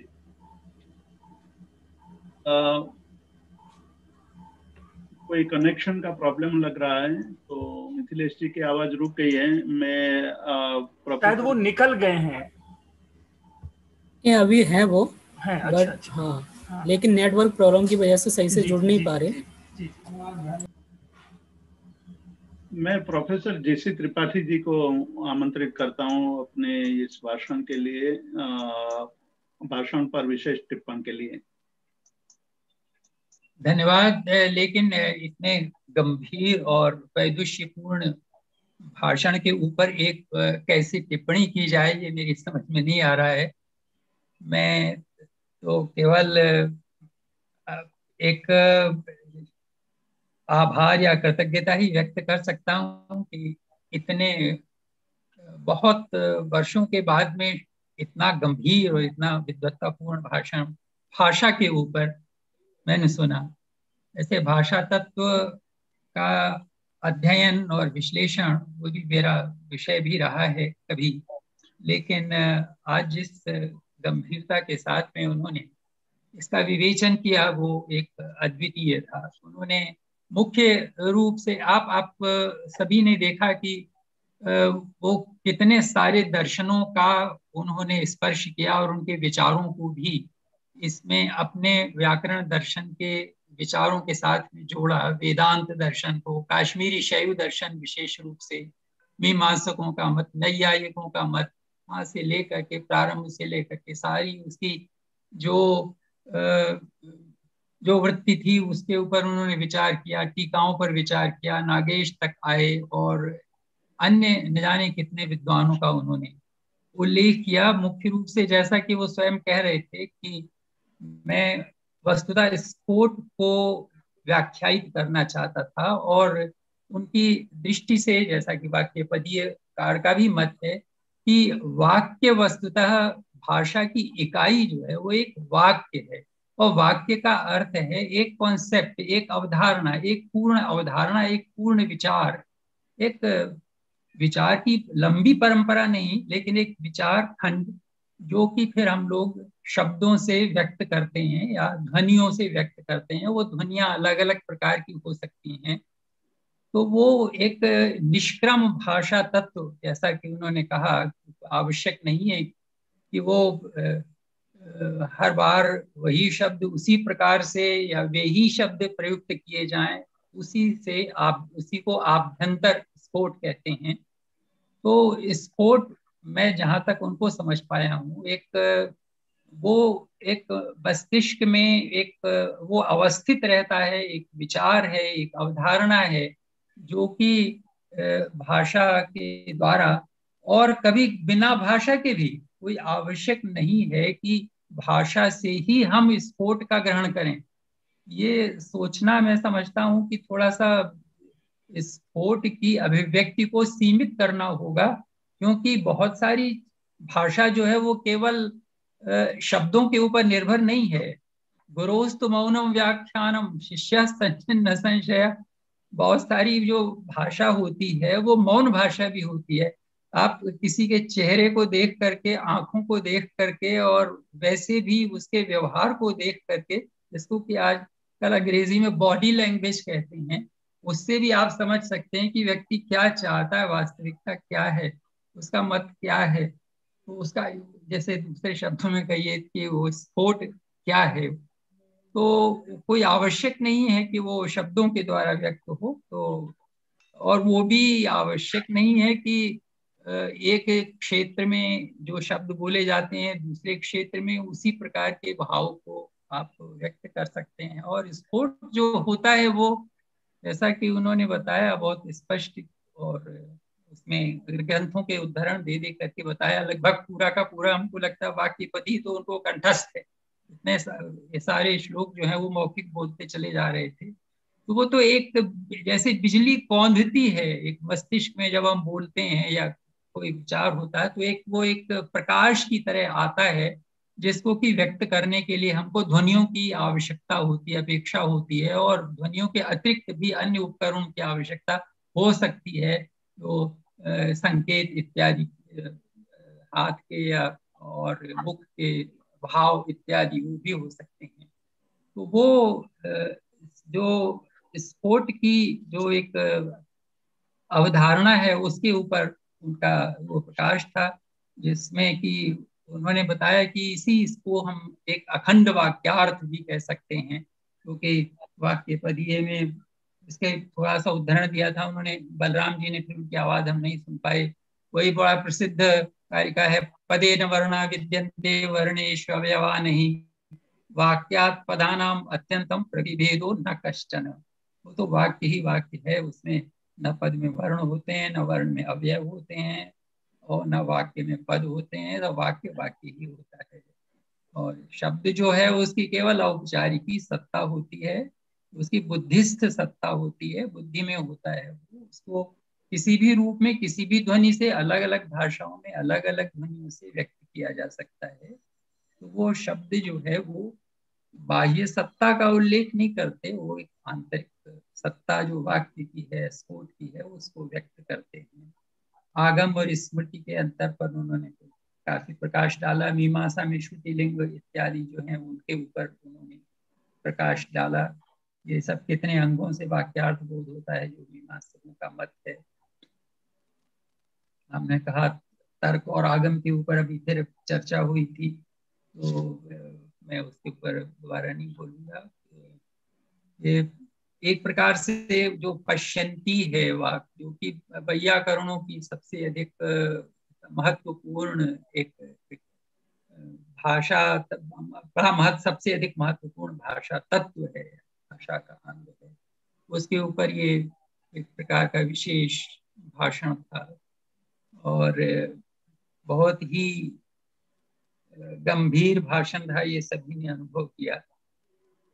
हम उनको किन शब्दों में धन्यवाद दें वस्तुतः धन्यवाद जो है वो एक बहुत ही बहुत ही थोड़ा और बहुत ही अल्प आभार व्यक्त करने वाला होगा जो हम लोग वस्तुतः जितने आभारी उनके हैं इस भाषण से और गंभीर हम चाहेंगे कि इसको लोग बार बार सुने, हम लोगों ने रिकॉर्ड किया है और इससे वस्तुतः उनको भाषा तत्व को समझने में सहायता मिलेगी। तो मैं अब अपने उपाध्यक्ष महोदय श्री जितेंद्र भाई शाह से कहूँगा कि वो कुछ वाक्यों में आपका आभार व्यक्त करें, क्योंकि हम सब वस्तुतः बहुत आभारी हैं उनके। और सभी को, उनको भी व्यक्त कर जिन जिन के प्रश्न और शंकाएँ थी और जिसके कारण से हमको ये पूरी का, पूरी, पूरा व्याख्यान या पूरी प्रस्तुति को और अधिक समझने में और हृदयंगम करने में सहायता मिली है, उन सबको भी हम धन्यवाद देते हैं। उनके प्रति भी आभार व्यक्त किया जाए। धन्यवाद प्रोफेसर जी त्रिपाठी जी। इस व्याख्यान श्रृंखला का अगला व्याख्यान अगले शनिवार प्रोफेसर धर्मचंद जी जैन जैन भाषा विज्ञान पर देंगे। एक महत्वपूर्ण विषय होगा। आप सभी को मैं आमंत्रित करता हूँ अगले व्याख्यान के लिए। आज हम इस कार्यक्रम को यहीं घोषित करते हैं।